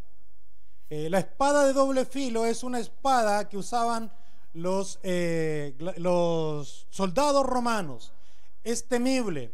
Hermanos, las crónicas, la literatura habla de que la espada de doble filo, llamada la gladius, ¿no es cierto? La gladius esta espada de doble filo era temida, era, ¿no es cierto?, eh, por los efectos o por las causas, ¿no es cierto?, que producía el, el, el, ¿no es cierto?, el, tener, el entrar en combate con esta espada o con los mismos eh, hermanos eh, soldados. Era reconocida, era conocida los efectos. Esta espada de doble filo, hermano, es un arma letal. Eh, es un arma que los soldados romanos conocieron que la adaptaron y la mejoraron y con sus técnicas de combate lograron generar mucho terror. Todo aquel que, que, que, viviera en ese contexto, en este, en este lugar, sabía, hermanos, de qué el autor está hablando. Cuando habla de espada de dos filos, sabe que es una espada terrible, terrible.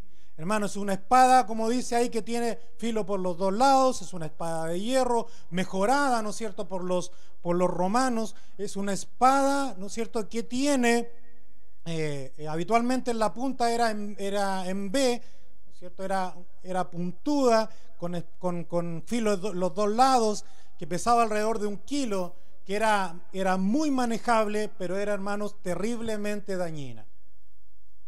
Aquellos que, saben o que, están, los que leen este, esta palabra, saben que esta espada, hermano, es terrible. Y que el imperio romano con, con, romano, con sus técnicas y con toda la eficacia que tiene en grupo, porque esta espada era utilizada, ¿no es cierto?, en estrategia y en grupo, hermano, generado, generó mucho terror. Todos aquellos que se enfrentaron a los romanos sabiendo que tenían estas espadas, sabían de qué se trataba y el terror que causaba. Es una espada, hermano, que hiere por los dos lados. Es una espada muy filosa que es capaz de cortar, ¿no es cierto?, de eh, cortar, abrir eh, la piel fácilmente. Pero como era en punta, hermanos, también era de una sola estocada, podía, ¿no es cierto?, entrar y partir a una persona. Entraba, entraba, ¿no es cierto?, y dañaba, hería. Era una arma mortal. Los, romanos, sabiendo los puntos débiles de, las personas, generaron mucho terror porque era muy dañina esta espada. Entraba, penetraba, hermanos, y dañaba mucho. Y si no dañaba, hacía que las personas sangraran eh, y de alguna forma igual al final terminaban muriendo. Aquel que escribe Hebreos, aquella persona que escribe Hebreos, sabe de qué se trata y los efectos que tiene esta espada. Sabe, ¿no es cierto?, lo letal que es esta espada. Y aquellos que leen, ¿no es cierto?, los, los que son los receptores de esta palabra, son los hebreos que viven, ¿no es cierto?, en Roma, que están en Roma y que conocen eh, de este tipo de armas.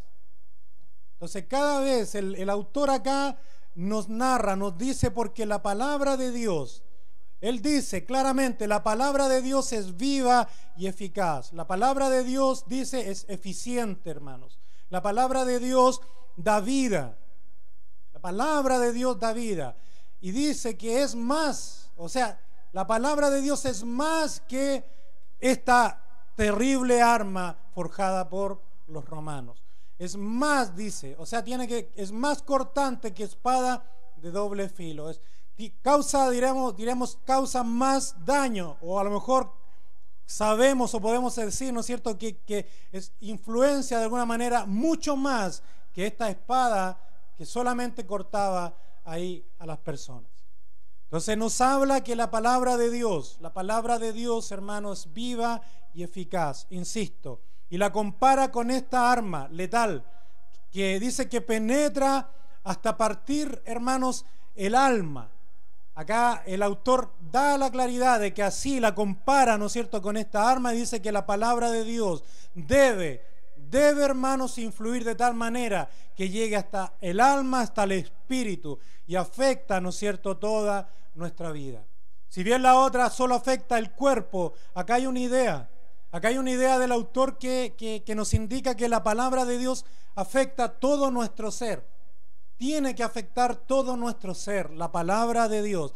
La idea, esta idea quizás, ¿no es cierto?, que, se da en, la, en, el tiempo de Jesús, que somos alma, cuerpo y espíritu, ¿no es cierto?, que se da esta idea, ¿no es cierto?, post eh, lo, que, lo que hablan los discípulos, o Pablo nos introduce en la idea de que somos alma, cuerpo y espíritu, esta idea quizás griega, nos habla de que la, palabra tiene que influir de tal manera, con tal profundidad en nuestra vida, que tiene que afectar todo nuestro ser. La palabra de Dios, hermano, tiene que afectar toda nuestra vida, toda nuestra esencia, todo nuestro ser.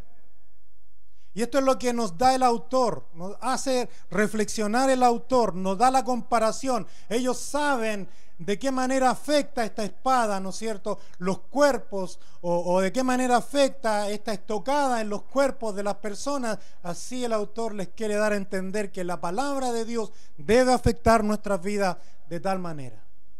No podemos seguir siendo los mismos. Aquel que era, aquel que era eh, atacado por esta espada, hermano, no volvía a ser el mismo. En realidad, obvio. O sea, moría. Era lo, lo que, ¿no es cierto?, les pasaba. Pero aquel que quedaba herido, ¿no es cierto?, reconocía que era una estocada, ¿no es cierto?, que lo marcaba para toda la vida.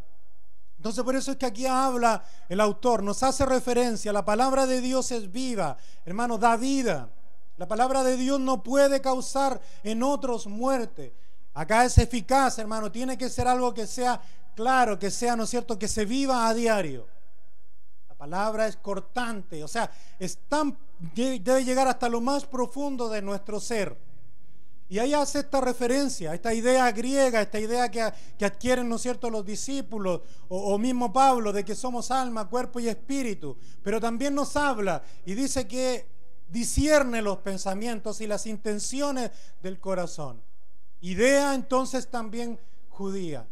La palabra de Dios debe afectar nuestro corazón, debe afectar lo que somos.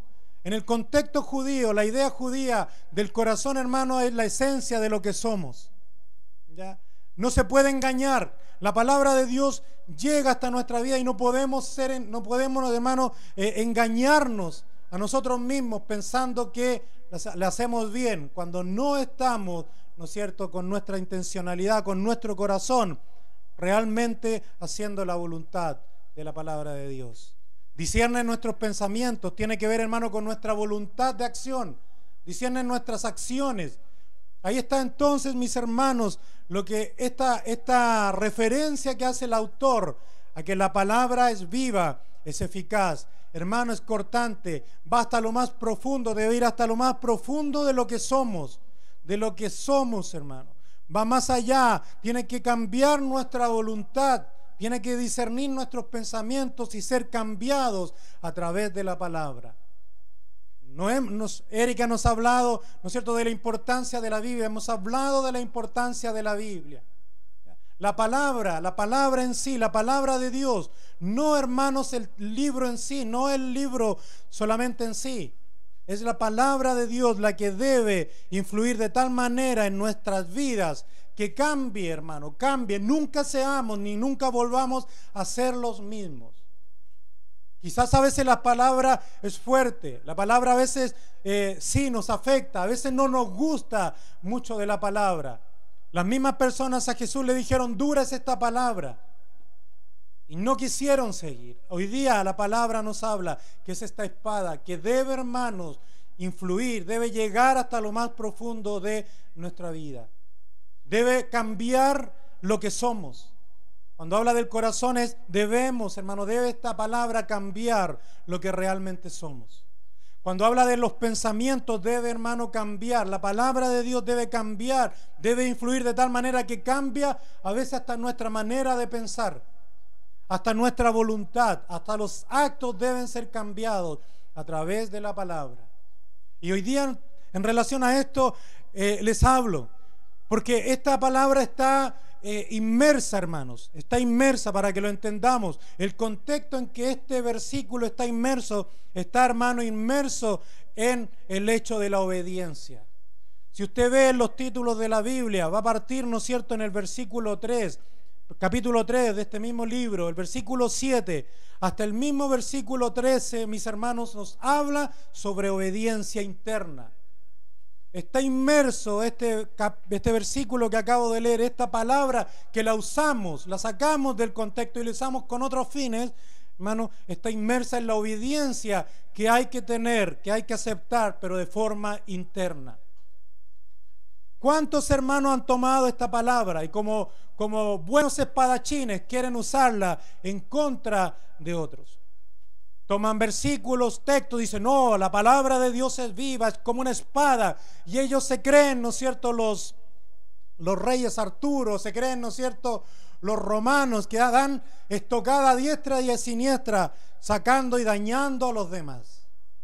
Sacan de contexto, sí, bien, es una espada, la espada es para atacar, dirán a muchos, pero esto, hermano, es, ¿no es cierto? Cuando hablo de esto es una reflexión interna, una obediencia interna la palabra hoy día nos llama, ¿no es cierto? Nos hace esta comparación. La palabra debe influir en mi vida de manera tan profunda que cambie, cambie todo lo que soy. Cambie todo lo que he pensado a veces. Cambie mi mentalidad. Muchos, como les digo, han tomado la palabra, esta palabra, y han dicho, ah, la palabra es una espada. Y lo que han hecho es, hermano, de alguna manera dañar a muchos otros, escupiendo, perdonen el término, versículos sacados de contexto y dañando a otros, cuando la palabra hoy día nos llama a que esta reflexión debe ser interna. La palabra de Dios me debe afectar a mi vida. La palabra debe afectar mi vida, debe afectar mi, esencia, debe afectarme todo lo que soy. Y no es una justificación esto de que sea una espada para dañar a otros. La palabra es vida. La palabra es vida. ¿Cuánto nos han usado la palabra, la palabra para sus fines egoístas?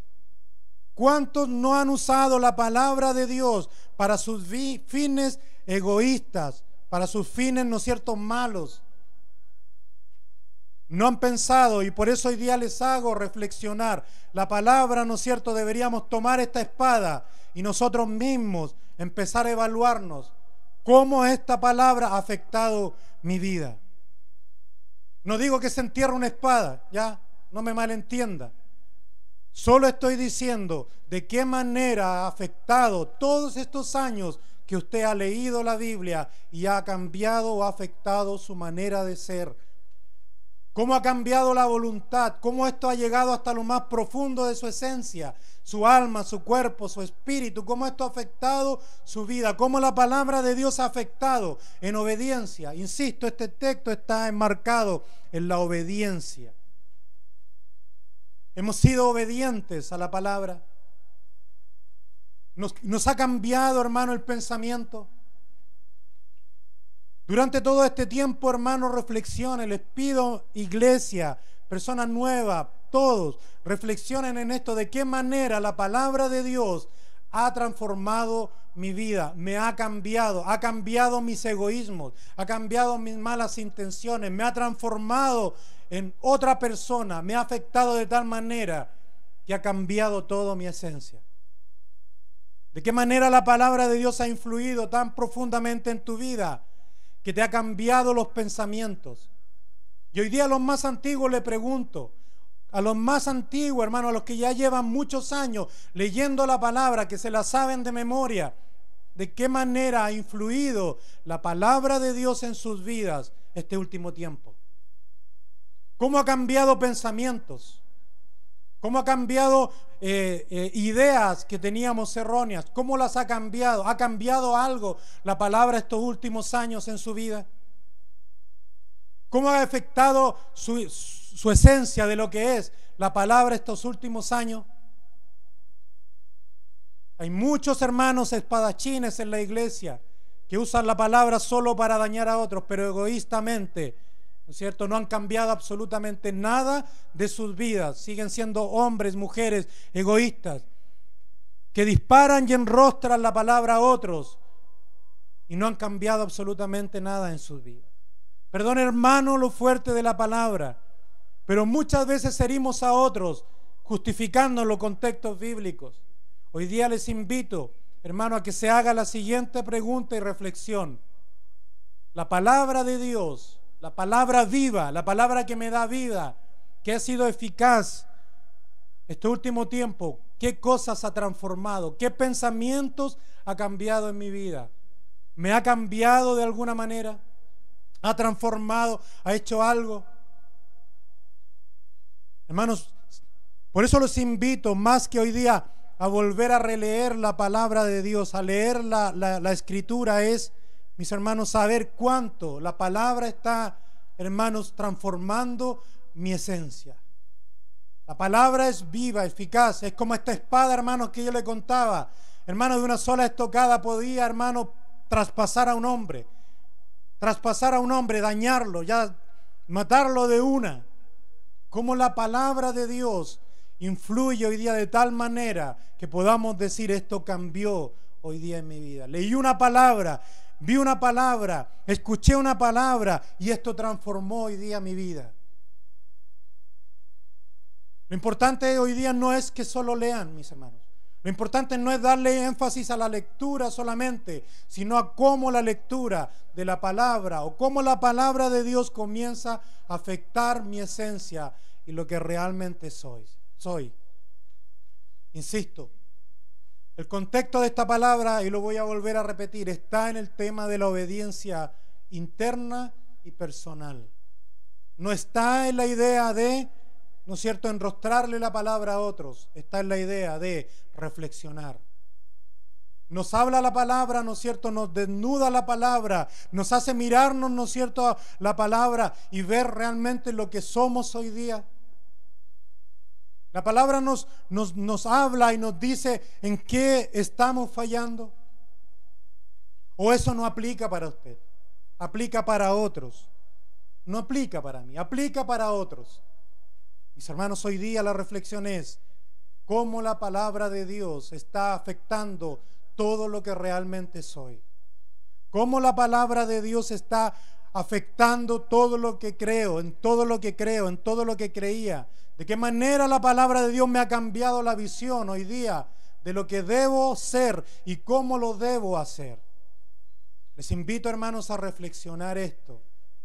Hemos escuchado muchas palabras, pero insisto, de qué manera la palabra, cuestiones y diga de qué manera la palabra de Dios está influyendo en lo que realmente soy y en lo que realmente hago.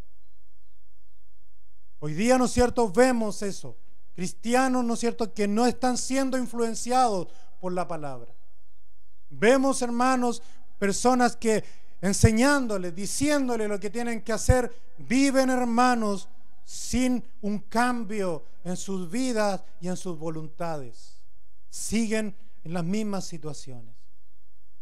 Y la palabra, no sé si lo prediqué, ya son tantos meses aquí en cuarentena, pero la, la, palabra, hermanos, es efectiva cuando se desarrolla. La palabra es efectiva cuando la vivimos, cuando la desarrollamos, cuando la cumplimos y la hacemos. De ahí que nos habla el mismo Jesús, nos habla y nos compara aquellos que, con dos cimientos, un hombre que construye una casa y, y dos hombres que construyen una casa en dos diferentes cimientos. Y nos dice, hay hombres sabios que, que escuchando la palabra, oyendo la palabra, la ponen por obra. Y a ese hombre lo voy a comparar con aquel constructor, con aquel hombre que construye su casa en la roca. Y vienen las, tormentas, las tempestades, hermanos, las dificultades de la vida que a todos nos van a llegar, buenos, malos, justos e injustos, nos van a llegar las situaciones difíciles de la vida, pero aquellos que son oidores de la palabra, aquellos que la han escuchado y la, y la ponen por obra, van a resistir las dificultades porque están cimentados, hermanos, en la roca. ¿Y cuál es la roca, hermanos? No es el, es el hecho, ¿no es cierto?, de escuchar la palabra y llevarla a cabo, cumplirla. Y Jesús comparará a aquellos que escuchan la palabra, solo la escuchan y se llenan y, se la saben de memoria y la recitarán y todo, pero que no la viven, lo compararán con aquel hombre insensato, necio, que construye su casa en la arena. Y le vienen las mismas tormentas que a los demás, y le vienen las mismas lluvias que a los demás, y le vienen las mismas crecidas de río que, de río que los demás, hermano, y su casa se destruye. Por eso hoy día es fundamental el cambio, hermanos. Él cambia la luz de la palabra. ¿Cómo la palabra de Dios está afectando hoy día mi vida? ¿De qué manera la palabra de Dios está haciendo vida en mí? Y ha calado en lo más profundo del corazón. Y ha cambiado mis pensamientos y ha cambiado todo lo que soy. Hoy día le llamo a esa reflexión. Mis hermanos, en el mes de la Biblia, más que solo hoy día leer la Biblia, lo llamo a que reflexione de qué manera la palabra de Dios está influyendo en mi vida. De qué manera está penetrando esta espada hasta lo más profundo de mi corazón, de mi vida, y me descubre realmente lo que soy y cómo soy y por qué hago las cosas. Y me transforma y me cambia.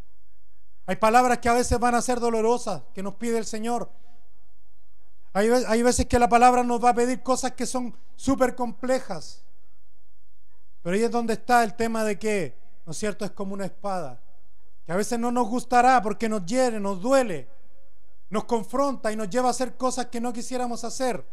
Pero ahí está entonces la voluntad de cada uno de ustedes en poder ser transformados a la luz de la palabra. No va a ser fácil, Pero mis hermanos, le invito, no puede seguir solo escuchando palabra de Dios, solo pidiendo que el Señor le hable, solo pidiendo, ¿no es cierto?, que el Señor le diga lo que tiene que hacer. Y no, hermanos, ser afectado de manera especial en sus vidas por la palabra de Dios. Les vuelvo a insistir, este último tiempo el Señor le ha hablado de tal manera que ha cambiado su mentalidad. El Señor le ha hablado este último tiempo y le ha cambiado y ha sido transformado. Y ya no es el mismo de hace una semana. Y no es el mismo de hace un mes. Les invito, mis hermanos, hermanos, a cada uno de ustedes, comunidad, iglesia. Los, los amo tanto, los amamos demasiado. Pero vemos a veces, hermanos, que la palabra no está haciendo vida en cada uno de ustedes. No ha sido transformación. Y hoy día les invito a que sea eso, una transformación. Que sea esta espada de doble filo, mis hermanos, que traspase su alma, su cuerpo, su espíritu. Hermano, que cambie voluntad, que cambie la manera de ser, cambie pensamientos. Lo invito a reflexionar hoy día en esto. Que Dios, a través de esta palabra, hermano, nos lleve a ser obedientes a ser obedientes hoy día a su palabra, a ser obedientes a lo que el Señor nos está diciendo.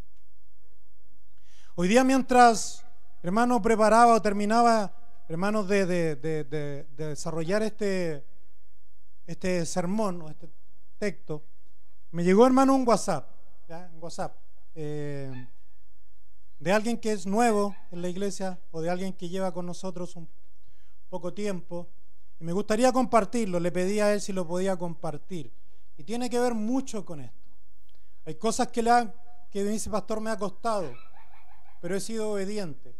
Hay cosas que no han sido fácil, pero he sido obediente a la palabra. He confiado, como nos decía Fabián Denante, he confiado y he puesto mi esperanza en Dios. Y eso es lo que hoy día me gustaría que cada uno de ustedes entendiera que pueda reflexionar, ¿no es cierto?, a través de la palabra y ser transformado, ser cambiado.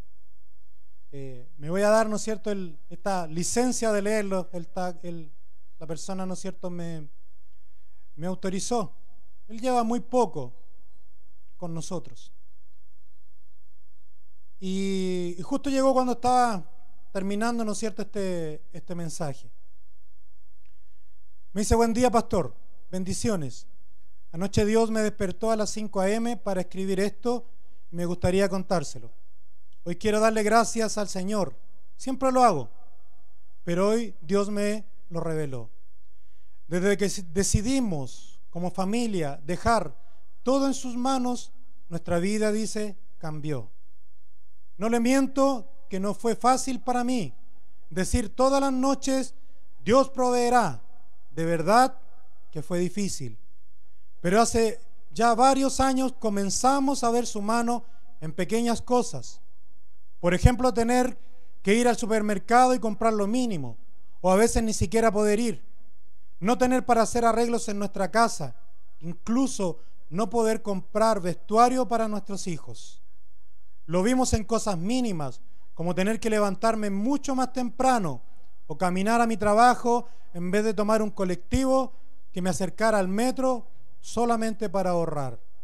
Todo lo dejamos en manos de Dios. Recibimos del Señor muchas veces un no. Lo cuestionamos, nos molestamos, sufrimos cuando no nos alcanzaba para pagar, dice, las deudas. Tener lo justo para la locomoción, no tener para las cosas básicas, pero en el fondo era su voluntad. Siempre estuvo ahí a través de personas Nunca nos faltó para comer, tampoco me faltó para llegar a mi trabajo, tampoco a, mis hijos les faltó ropa ni útiles para el colegio. Hoy vemos cómo también nos dice que sí en algunas cosas. Vemos que podemos terminar arreglos en nuestra casa, que por años no pudimos hacerlo. Podemos comprarle ropa a nuestros hijos, podemos comer algo rico de vez en cuando, puedo pagar algunas deudas, no le digo que nos sobra, pero gracias a Él lo podemos hacer. Quiero agradecer, pastor, que nos enseñara esto, a confiar y entregarnos a Él, ahora sabemos que el camino será así. Con muchos no, y algunos sí, pero a mí como jefe de hogar me sacó una gran carga. Y en mi esposa reafirmó su gran fe. Hoy puedo dar testimonio de que Dios es bueno. Gracias, pastor. Le ha costado confiar en Dios. Le ha costado poner la palabra que dice que a los que aman a Dios todas las cosas le ayudan a bien. Hay palabras que nos van a costar, que nos van a doler, que van a partir nuestra alma. Pero ahí es donde hoy día, hermanos, en relación a este testimonio, Dios, que nos habla, eh, esta persona nos da la razón de lo que hoy día yo estoy predicando. La palabra, tarde o temprano, tiene que influir en ustedes. La persona ahora dice, puedo dormir tranquila, puedo dormir confiado, porque el Señor realmente provee. Lo experimentó a través de la palabra y hoy día cambió su vida, cambió su mentalidad, cambió su esencia al entender que Dios sí provee, no siempre, pero nunca los va a dejar. Por eso hoy día los invito a esta reflexión. Los invito a reflexionar cómo la palabra de Dios está influyendo en sus vidas para transformar su mente y para transformar su corazón. Padre bueno, en esta hora oramos. Oramos, Señor oh Dios, oro por, los hermanos, por la familia. Oro, Señor de los cielos, por los, los, los que nos escuchan. Padre maravilloso. Oro para que usted obre vida, obre, la palabra sea viva en cada uno de ellos. Pero que hay una determinación, oh Dios. Hay una opción, Padre. Tú nos llamas a tomar esta opción, Padre. ¿De qué manera la palabra de Dios hoy día está influyendo en mi vida? ¿De qué manera la palabra de Dios está afectando lo que soy, lo que pienso, todo lo que soy? Padre maravilloso, hoy día oro, Dios, por esta comunidad que amamos por sobremanera, pero que queremos, Señor, verla, que viva la palabra de Dios, que viva esta palabra que es viva, que es eficaz, que es más cortante que una espada de doble filo. Papá, gracias, gracias por la oportunidad que me das de dar esta palabra. Yo bendigo a tus hijos, bendigo a la iglesia y bendigo a todos los que nos escuchan y nos ven a través de estos medios. Gracias, Padre. Amén y amén.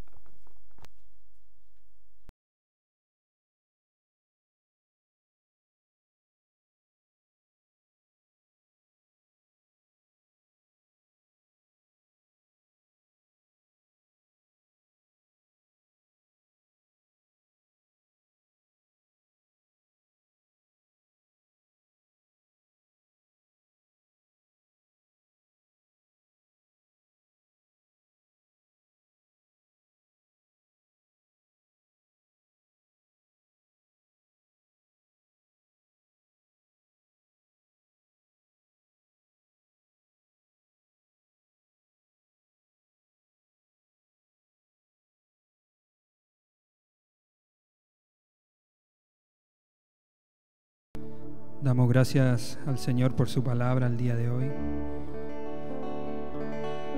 Cuán importante es la, la palabra del Señor para nuestras vidas, o cuán importante tiene que ser para nuestras vidas.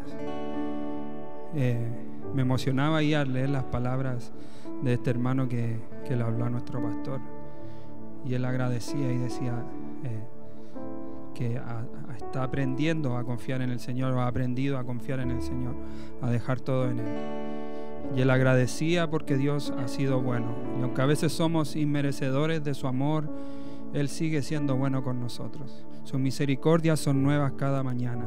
Su gracia, su gracia está siempre con nosotros. ¿Qué le parece si en esta, en esta hora agradecemos al Señor con todo nuestro corazón, con toda nuestra vida?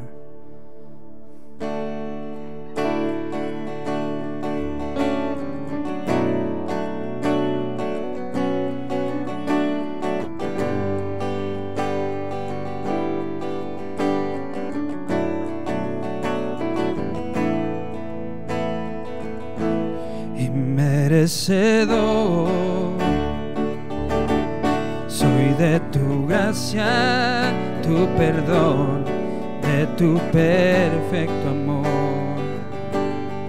Indigno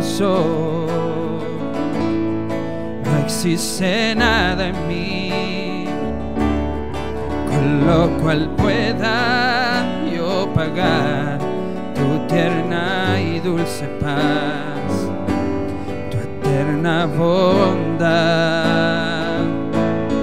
Tú me has amado y has decidido estar aquí para abrazarme sin recordarme lo que fui un pecador de ti su rostro escondió que no merecía el regalo de tu amor y yo quiero agradecerte, amarte siempre con gran pasión, como lo has hecho tú. Quiero corresponderte, ser fiel por siempre con decisión y no fallar jamás. Y merecedor soy de tu gracia y tu perdón de tu perfecto amor indigno soy. Y no existe nada en mí con lo cual pueda yo pagar tu tierna y dulce paz, tu eterna bondad, tu eterna bondad, porque tú me has amado y has para abrazarme sin recordarme lo que fui. Un pecador que de ti su rostro escondió que no merecía el regalo de tu amor yo quiero agradecerte amarte siempre con gran pasión como lo has hecho tú. Quiero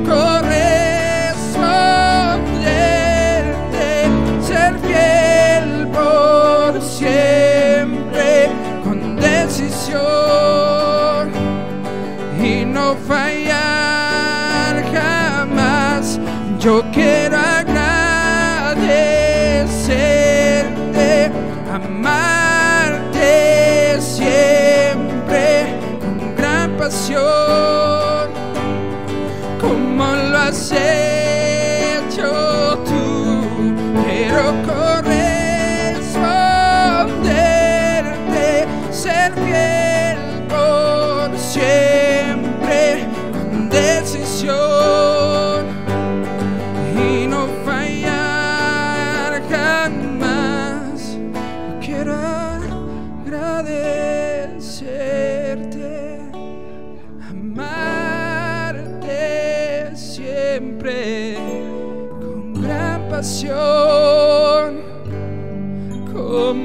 has hecho tú.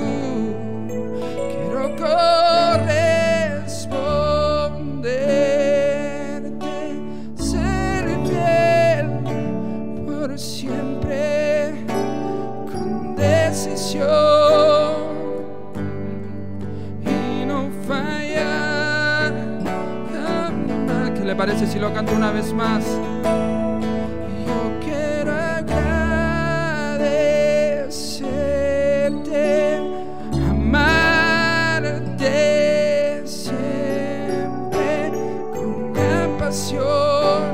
Has hecho tú, Jesús, como lo has hecho tú. Quiero corresponder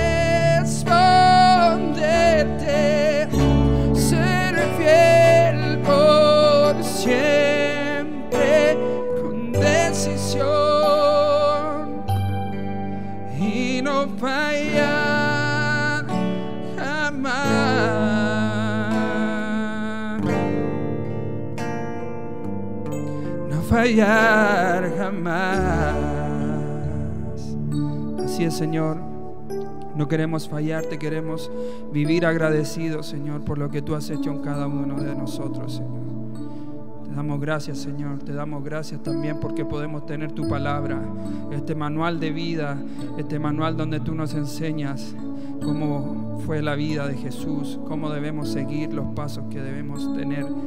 Te agradecemos, Señor, porque aún, aún en nuestro país podemos libremente caminar con una Biblia en nuestra mano, libremente poder leerla, libremente poder adquirir una Biblia, Señor. Te agradecemos porque aún en nuestro país podemos tener la Biblia, Señor. Ayúdanos, ayúdanos a escudriñarla cada día más, a que a la luz de tu palabra podamos seguir aprendiendo más de ti, Señor. Gracias, Señor, gracias. Queremos ser agradecidos. Recuerda, hermanos, comenzar a enviar sus peticiones de oración ahí al, al chat de, de, YouTube, en Facebook o en, el, en nuestro WhatsApp, que está ahí el número más 569 3617 22 11. Puede escribirnos para que tengamos un momento de oración en un tiempito más, donde ahí podemos poner nuestras peticiones delante del Señor. Recuerde que los días martes también se ponen todas estas peticiones de oración. Martes en la noche se está orando como iglesia, como comunidad. Vamos a ir a un nuevo video donde un hermano nos responde qué es la Biblia para él.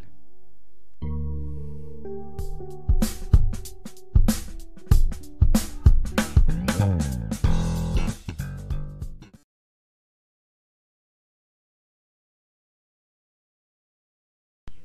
para mí, la Biblia es una guía en donde yo encuentro eh, y aprendo cómo debo comportarme como persona, como cristiano, eh, para mi entorno, para mi prójimo. Y eso es una, una guía importante en la cual aprendo cada día.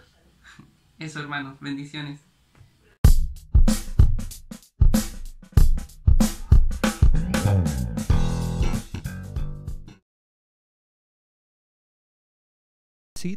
que no estaba ahí eh, respondiendo qué era la Biblia para él. Amén. Así que acuérdese, a usted le puede tocar responder esta pregunta. ¿Qué es la Biblia para usted? Estamos aquí eh, atentos a las oraciones. Aquí el WhatsApp ya tenemos dos peticiones de oración.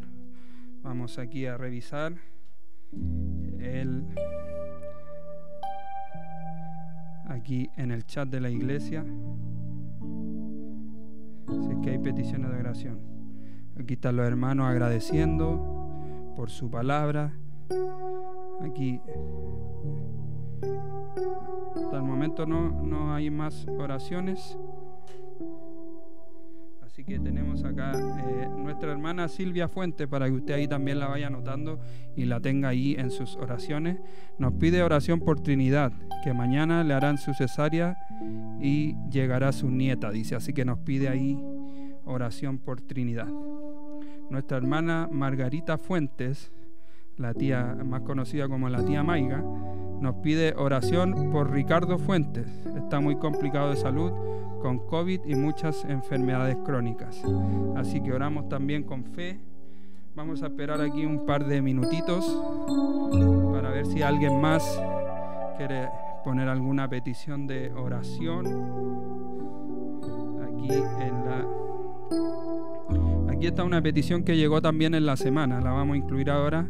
Eh, la esposa de, Gastón Salazar eh, pide la oración por eh, Fabián Galleguillo Figueroa. Dice que tiene 14 años y tiene un tumor y está hospitalizado. Es el hijo de una compañera de Gastón y como saben que ustedes estuvieron orando por Gastón y se sanó, me pide la oración. Eso es bueno, hermano.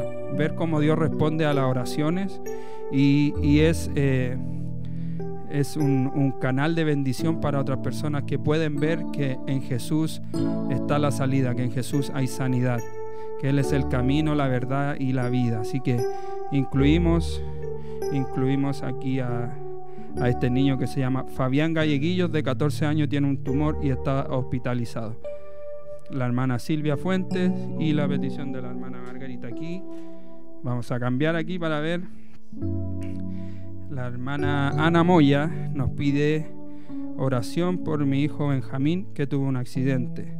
Casi pierde su dedo completo y su vida. Fran- Francisca se fue con su hija a Rancagua y por Belén que está en el ejército.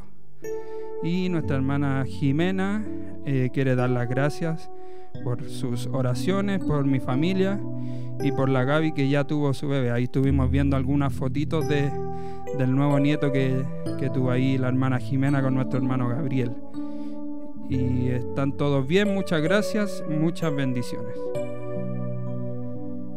Y ahí también nuestra hermana Ana pide oración por ella también para que el Señor le, le dé fuerzas. Dice que está triste, pero confiamos en el Señor que, que Él le dará gozo, que Él quitará toda tristeza, que Él quitará todo dolor y todo lo que ella esté pasando.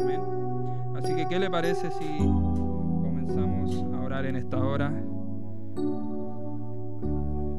Aquí, eh, mire, justo el, el pastor me dice por la hermana Violeta, y aquí nos escribe Paula Cancino, dice, gracias a Dios por las oraciones, mi mamita está bien. Muchas gracias, nos dice nuestra hermana Paula Cancino, la hija de nuestro hermano Eduardo y de nuestra hermana Violeta. Así que damos gracias al Señor. Es bueno agradecer cuando el Señor responde nuestras oraciones. Siguen llegando aquí, siguen llegando las. Nuestra hermana Patricia Huircán dice: Pido oración por una niña del colegio de la Catarí. Se llama Constanza Sandoval. Le dio leucemia. Ella va en segundo medio y está hospitalizada. Así que ahí también damos gracias, eh, o sea, eh, la agregamos a, la, a las oraciones. Y aquí el, hermano Santiago dice, gracias pastor por la palabra.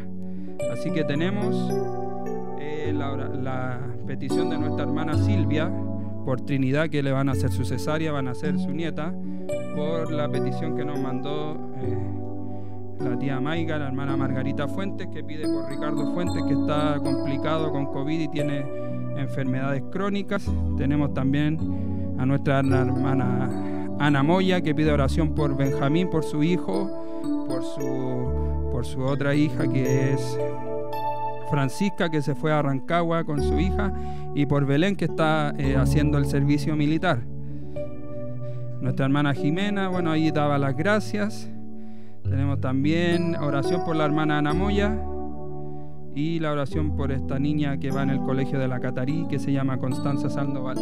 Y por Fabián Galleguillos, que es el niño de 14 años que tiene tumor. Ahí para que usted la anote y no, no se le olvide estar orando por estas personas. Así que, ¿qué le parece si usted me acompaña ahí a orar con fe, creyendo en su corazón que el Señor puede sanar, creyendo en su corazón que el Señor puede traer libertad, que el Señor puede traer alegría, que el Señor nos puede inundar de su gozo a cada uno de nosotros. Amén. Padre que estás en el cielo, seguimos en tu presencia, tu maravillosa presencia, Señor, para orar en este día, para orar, Señor, en comunidad, en hermandad, Señor, como iglesia, como hijos tuyos, Señor. Preocupados los unos por los otros, queremos orar hoy, Señor, por las peticiones de cada uno de mis hermanos, Señor. Pedimos, Señor, por Fabián Galleguillo, este niño de 14 años, que es la hija de una compañera de nuestro hermano Gastón Salazar, donde tú hiciste sanidad en él. Ellos pudieron ver que tú respondiste a las oraciones, que tú hiciste un milagro en su vida. Entonces ellos están creyendo en ti, Señor. Están creyendo en que tú puedes, Señor, sanar, en que tú puedes, Señor, sanar a este niño, a Fabián Galleguillo, de, que tiene este tumor, Señor. Te pido, Señor, que donde quiera que él esté, tu mano misericordiosa en este momento, Señor, sea tocándole, Señor. Sea tocando su vida, sea quitando todo tumor, Señor. Que tú, Señor, puedas a través de este niño, Señor, mostrar tu amor, que puedas mostrar tu poderío, que puedas mostrar que para ti no hay imposible, Señor que puedas mostrar, Señor, que tú eres asombroso, Señor. Pedimos, Señor, que tú seas sanándolo en el nombre de Jesús, Señor. Pedimos por Fabián Galleguillo, Señor. También pedimos, Señor, por Trinidad, esta petición que hizo nuestra hermana Silvia Fuentes, que tendrá su cesárea el día de mañana, Señor. Queremos, Señor, que todo salga bien, Señor, que, que esta bebé, Señor, o este bebé nazca, Señor, sanito, que todo, que sea un parto, Señor, sin complicaciones, Señor, y que ella pueda disfrutar de este nuevo nieto que viene en camino, Señor.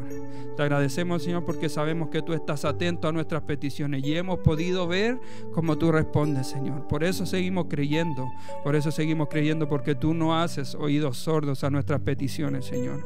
Oramos, Señor, por la petición de nuestra hermana Margarita Fuentes, Señor. Ella nos pide por Ricardo Fuentes, Señor, que está con COVID, Señor, que está complicado, que tiene enfermedades crónicas, Señor. Creyendo, creyendo en que tú puedes hacer un milagro en él, en que tú puedes traer sanidad. Oramos, Señor, oramos creyendo, oramos con fe, oramos, Señor, sabiendo que tú puedes responder a nuestras peticiones de oración, Señor. Te agradecemos, te agradecemos porque sabemos que tú en este momento estás atento, atento a la oración de tus hijos, Señor. Oramos también, Señor, por, por nuestra hermana Ana Moya, Señor. Pido oración por su hijo Benjamín, Señor, que tuvo un accidente, Señor. Sé tú regenerando, Señor, todo lo que se haya dañado en su cuerpo, Señor, en su dedo, Señor. Agradecemos porque no pasó a mayores, Señor, como dice ella, que pudo haber perdido su vida. Pero tú quisiste que no fuera así. Tú tienes un propósito para él, un propósito para su familia. Así que queremos pedir, Señor, que tú seas trayendo una sanidad completa para Benjamín, Señor. También oramos, Señor, por Francisca que se fue a Rancagua, Señor. Sabemos que a lo mejor hay tristeza en el corazón de nuestra hermana Ana, donde ella ve que su hija va a estar más lejos y donde tiene a Belén, Señor, ahí en el ejército. Pero sé tú trayendo fuerzas a su vida, Señor. En esta hora, Señor, yo te pido que tú seas, Señor, extendiendo tu mano para nuestra hermana Ana Moya. Trae paz, trae sanidad, trae sanidad para su hijo, Señor, y trae alegría para su corazón. Quita toda tristeza. Bendice su hogar, Señor. Que ella y su hogar te bendigan a ti, Señor. Que ella y, y su hogar sean puerta de bendición para otras personas, Señor. Agradecemos por su vida, Señor, y porque siempre ha sido, Señor, fiel para con, contigo, Señor. También pedimos, Señor, pedimos por eh, Constanza Sandoval, Señor, esta línea que tiene leucemia, Señor, que es, eh, va en el colegio de Catarí, Señor. Seguimos orando y creyendo que tú eres un Dios sanador. Seguimos creyendo que tú eres un Dios, Señor, que está atento a nosotros, Señor. Te agradecemos, te damos toda honra y toda gloria a ti, Señor. Señor, que, que Constanza, Señor, sea sanada, Señor, por ti, Señor. Queremos también, Señor, que a través de ella se haga un milagro, Señor, hecho por ti, porque en ti creemos, porque sabemos que tú eres el que hace todas las cosas, Señor. Y también queremos agradecerte, Señor, porque tú has estado obrando en nuestra hermana Violeta, Señor. Ella ya está mejor de salud. Pedimos que hagas una sanidad completa, Señor. Pedimos, Señor, que seas tú, eh, sigas obrando en su hogar, en nuestro hermano Eduardo, en sus hijos y en todos los que están ahí en el hogar de ellos, Señor. También nuestra hermana Jimena agradecía, Señor, porque su, su nieto nació sanito, Señor, porque no hubo complicaciones, Señor. Así que ella da gracias a ti. Ella agradece porque tú has escuchado eh, nuestras oraciones y todo salió bien, Señor. Grande eres tú, Señor, grande eres. Te agradecemos, te damos toda honra, toda gloria, toda alabanza y toda adoración a ti. Creemos en ti en el nombre de Cristo Jesús. Amén y amén. Crea, hermano, que el Señor va a traer respuesta a su vida, que el Señor va a traer sanidad. Así que confíe en el Señor, aunque muchas veces se vean los días nublados, el Señor está ahí siempre atento a cada uno de nosotros. ¿Qué le parece si cantamos? No, vamos a cantar al último, vamos a dar los avisos ahora mejor. Así que vamos a dejar aquí a nuestro pastor para que esté dando los avisos de esta semana. Mis hermanos, Dios eh, ha sido bueno. Hermanos, muy rapidito, el martes están las damas por Zoom a las 7 eh, y cuarto. Ellos van, ellas van a estar ahí mandando la- las indicaciones o el link para que ustedes se conecten y lo pidan y estén ahí, eh, hermanos. Es un tiempo más de más íntimo donde pueden estar conversando, así que les aliento a que puedan estar, ya que se conecten. Yo sé que por este medio no tenemos interacción, pero por Zoom se puede interactuar y podemos, hermano, tener un tiempo, las hermanas pueden tener un tiempo más de compartir. Después de la reunión de, de las damas vamos a tener tenemos nuestra oración. Como dice Fabián, mande sus oraciones por interno, mande sus peticiones si quiere acompañarnos a orar, me escriben y yo les mando las peticiones de oración que se nos estén dando en ese momento. Dios ha obrado, reconocemos que todos los que están orando eh, han sido un tiempo bueno y que Dios ha respondido a nuestras oraciones. Así que eh, también les invitamos a eso. El día miércoles tenemos un- una reunión especial, vamos a estar conversando, un conversatorio de la actualidad, de algunos temas importantes, así que esperamos que estén bien activos, que manden sus, ahí sus preguntas consultas en relación al tema que vamos a estar tratando, pero le invitamos a estar ese día eh, miércoles en este conversatorio ya eh, más, más informal. Así que eh, ese día partimos a las 8 y cuarto. Así que para que estén conectados. Ya hermanos, el día sábado estarán los juveniles en la junta. Ahí ustedes ellos mismos se mandan los links para poder conectarse. Y en la tarde, hermanos, ya estarán los jóvenes más, más jóvenes ya. Jóvenes menos jóvenes. O jóvenes no tan jóvenes. Yo creo que algo, algo especial. Celebramos el 19 o el 18 de septiembre y ellos van a estar haciendo algo especial. Así es que ya ayer eh, pidieron, hermanos, que mandaran sus videos con una palla. Ese va a ser el concurso. Va a haber una palla, una palla buena que usted mande, se grabe.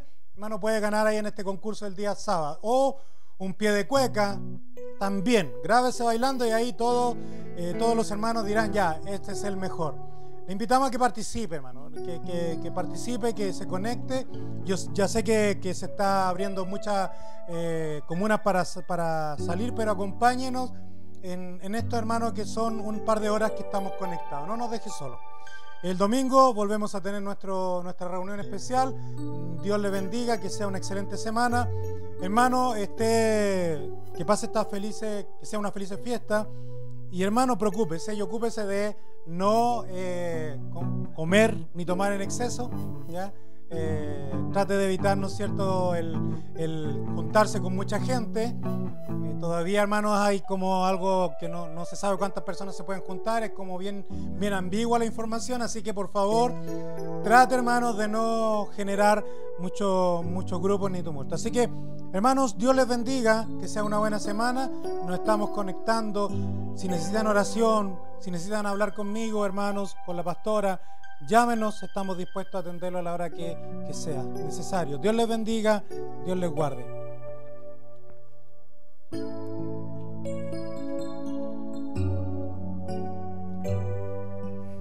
Amén. Así que ahí anote todas las actividades de esta semana y comparta ahí en, en familia. ¿Qué le parece si cantamos esta última canción? Y con alegría y gozo. ¿Ya cuántos celebran el amor del Señor para con nosotros? ¿Cuántos eh, dicen sí, el Señor ha cambiado mi vida? El amor del Señor ha cambiado mi vida. Así que cantamos al amor del Señor.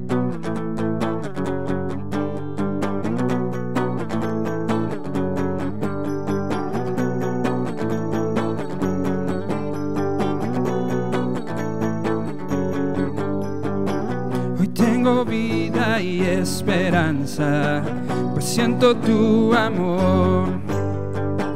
Apareció tu eterna gracia y me dio salvación. Así es, Señor.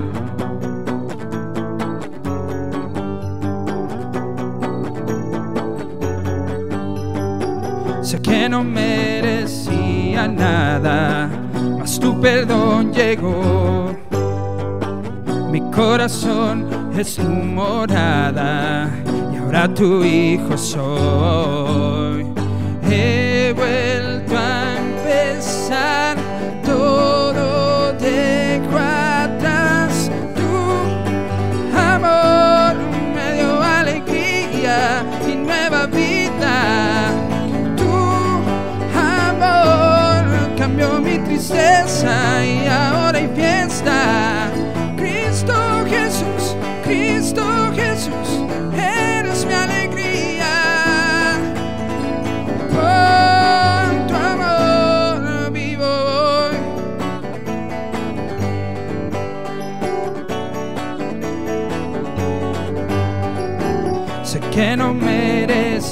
Merecía nada, mas tu perdón llegó. Dígale, mi corazón es tu morada y ahora tu hijo soy.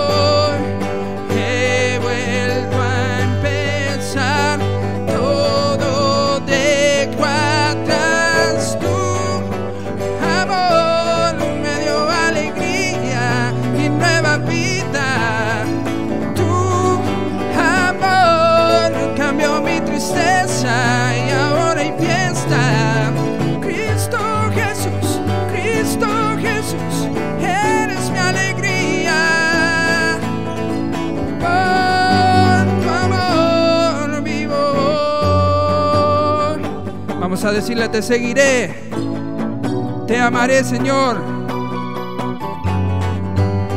Así es, Señor. Dígale ahí con todas sus fuerzas, te seguiré, te seguiré, te amaré, te amaré, te seguiré, te seguiré, te amaré, te amaré, te seguiré,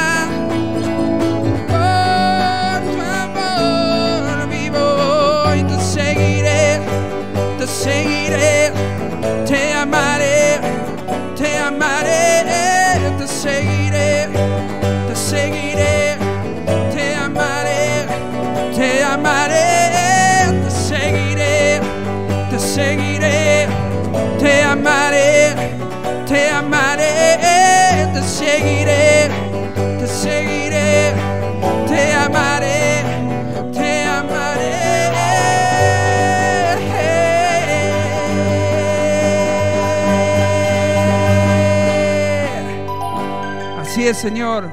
Queremos seguirte y amarte cada día más, Señor.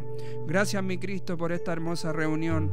Gracias por la reunión que hemos tenido el día de hoy, Señor, porque nos hemos podido gozar en tu alabanza, porque hemos podido descansar en medio de tu presencia, Señor, porque hemos podido sentir tu Espíritu Santo en este día, Señor. Porque somos, somos unos hijos agradecidos, Señor. Gracias por tu palabra, Señor. Una palabra viva, Señor. Una palabra fresca para, para nuestros corazones, Señor. Ayúdanos, ayúdanos a hacer viva esta palabra en esta semana, Señor. Bendice a, cada uno de mis hermanos en esta semana, Señor, en sus trabajos, a quienes siguen en sus hogares, Señor, a quienes están estudiando, Señor, a través, Señor, de, de Zoom y de estas plataformas, Señor. Señor, ayúdales, dale fuerza, Señor, quita todo estrés en el nombre de Cristo Jesús, Señor. Que sea una semana bendecida, una semana donde tú nos llenes de desafíos, Señor. Te agradecemos, te damos toda honra y toda gloria a ti, Señor, en el nombre de Cristo Jesús. Amén y amén. Nos despedimos aquí, hermanos, junto a Edson, a Gonzalo y a nuestro pastor Osvaldo. Que Dios le bendiga, que tenga una buena semana. Dios es bueno.